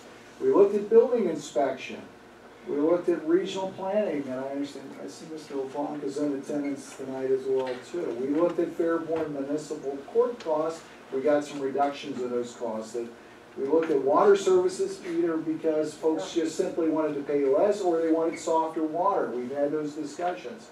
Uh, As well as park services, we talked about the two thousand seven park master plan, those opportunities for consolidation. We looked at legal services, sorry about that, Steve, unfortunately for Steve, it turned out that we were getting pretty good bang for our services. Um, And we went out and found somebody to do a park master plan privately funded for Mount Zion Cemetery. Of the services we have not accomplished yet in terms of just simply evaluating, because our budget is the leanest and one of the leanest in the region as a growing city. Uh, Council has asked specifically to look at what is occurring with the fire services provided to the city. This is just yet part and parcel, an ongoing analysis to look at our budget annually, which is always tight, doesn't carry one hundred percent fund balances forward. It's always lean and efficient. What can we do differently or stay the same if it is fine? These are the things that need to be determined, but this was the priority as established by council in twenty fifteen, to at least analyze what we're getting, what does it mean uh, for our residents, and uh, I don't know if you want to add anything to that. No, I, I think, I would agree, Mike, and I don't think it's to look at it, but not to, there is no predetermined Right. destiny of what provide, show, include, et cetera. So, When I came on council in two thousand nine and Mike presented this to us, maybe, or years later, it made sense. I mean, in the private sector, we do this. I come from the private sector. We, we we analyze all of our costs and, and, um, I was, you know, I, I've never resisted. In all the decades we've done in the private sector, we, we never had pushback.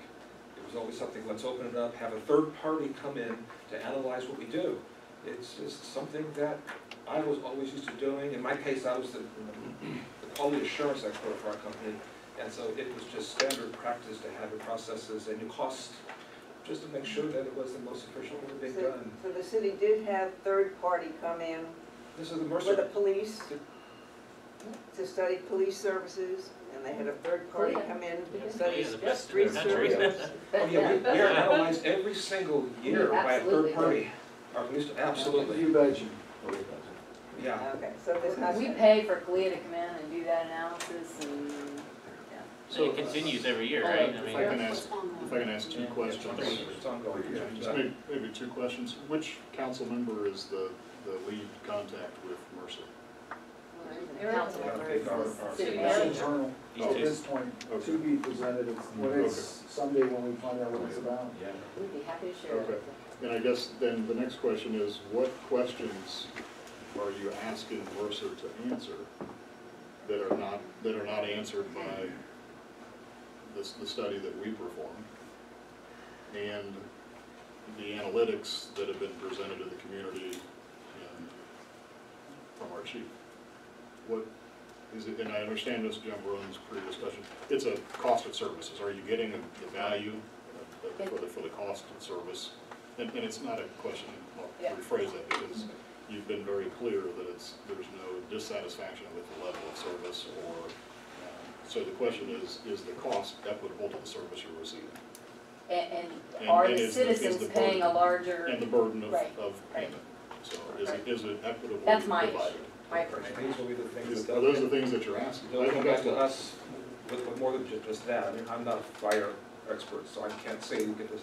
They're gonna come back to us with- from their expertise with, with a- answers and, and potential solutions. Uh, Again, it's, it's, it's gonna be broad.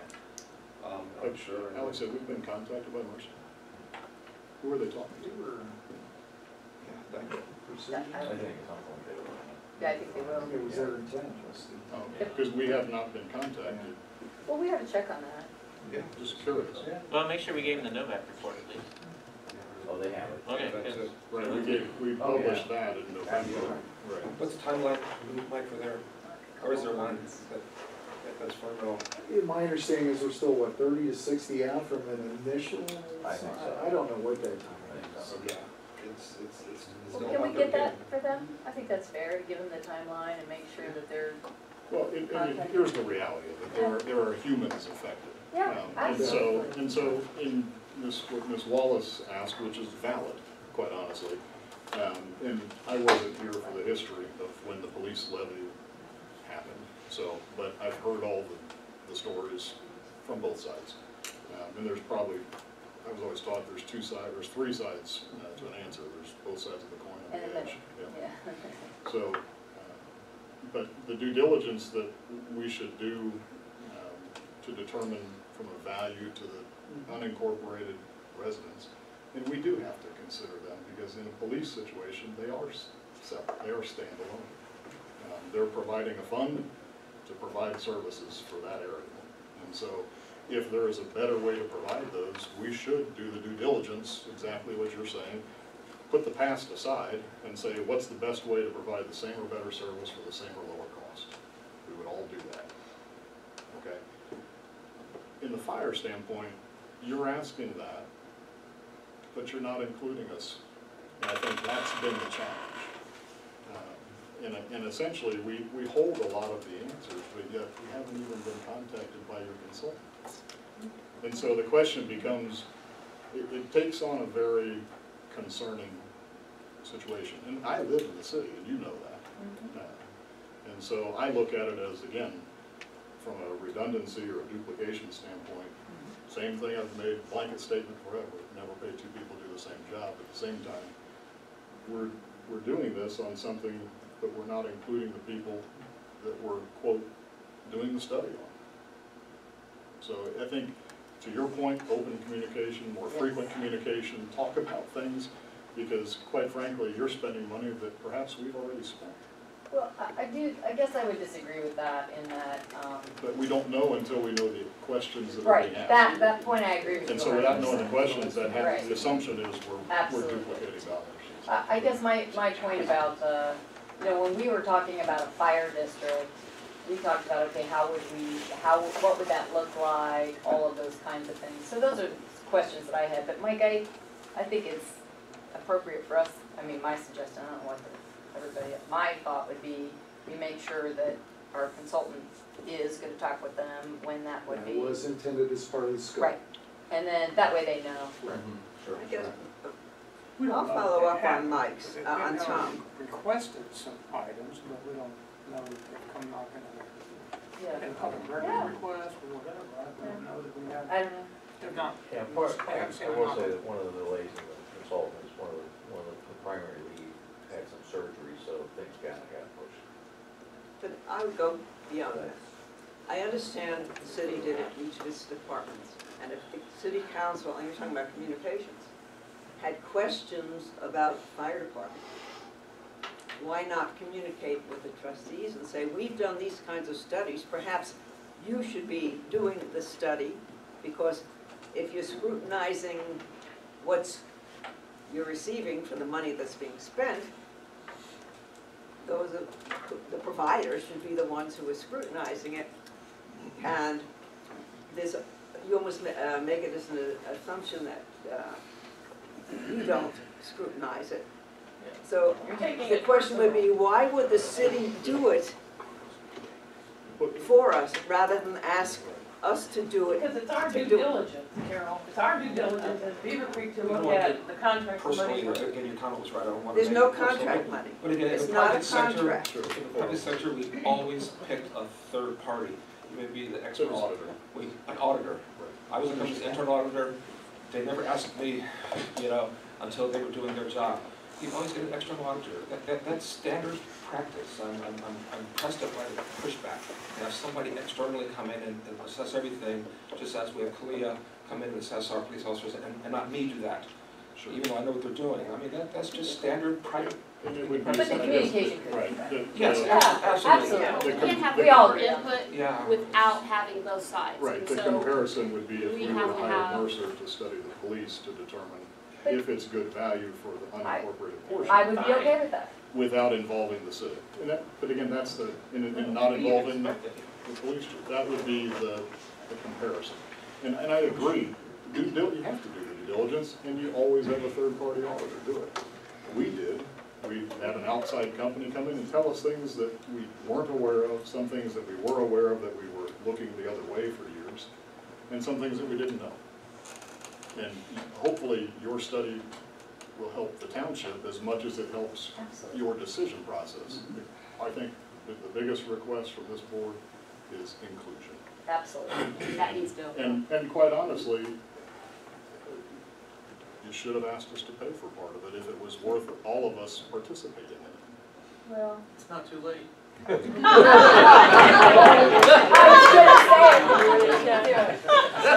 that. My takeaway with I this, think we're done. I would ask that Mike and Alex, Yeah. if we could set up some time, say ninety days out, 'cause it sounds like we're at, at most sixty days from having a draft report, maybe ninety days out, we all get back together in a U-shaped table and discuss what we find out in the, uh, in the report. like the I think that's an excellent idea, that there are no surprises. Absolutely. A report that gets slung out there that we might not be aware of, then we fix it might be there, I mean. And we wanna make sure that as soon as we get the report, we share it with our, our colleagues. Alex gets that. Yep, and, uh, That's always been the intent. yep, Right. great, Okay. Mr. Mayor? Okay, That's awesome. I'll accept the motion. motion to adjourn. Second. Second. Trustees, motion to adjourn? For the room, please. Make it- Sorry, you need a vote? One second, please. Yes. One moment, please. Chief uh, says. Just want to put in a quick plug, the Battle of the Badges, the annual blood drive between uh, your city and uh, police department and township fire departments will be occurring this year on August 17th. So uh, we got a lot of support from everybody last year. We look forward to seeing you all out there again if you, uh, if you're willing to. So, thank you very much. Thank you. Tim,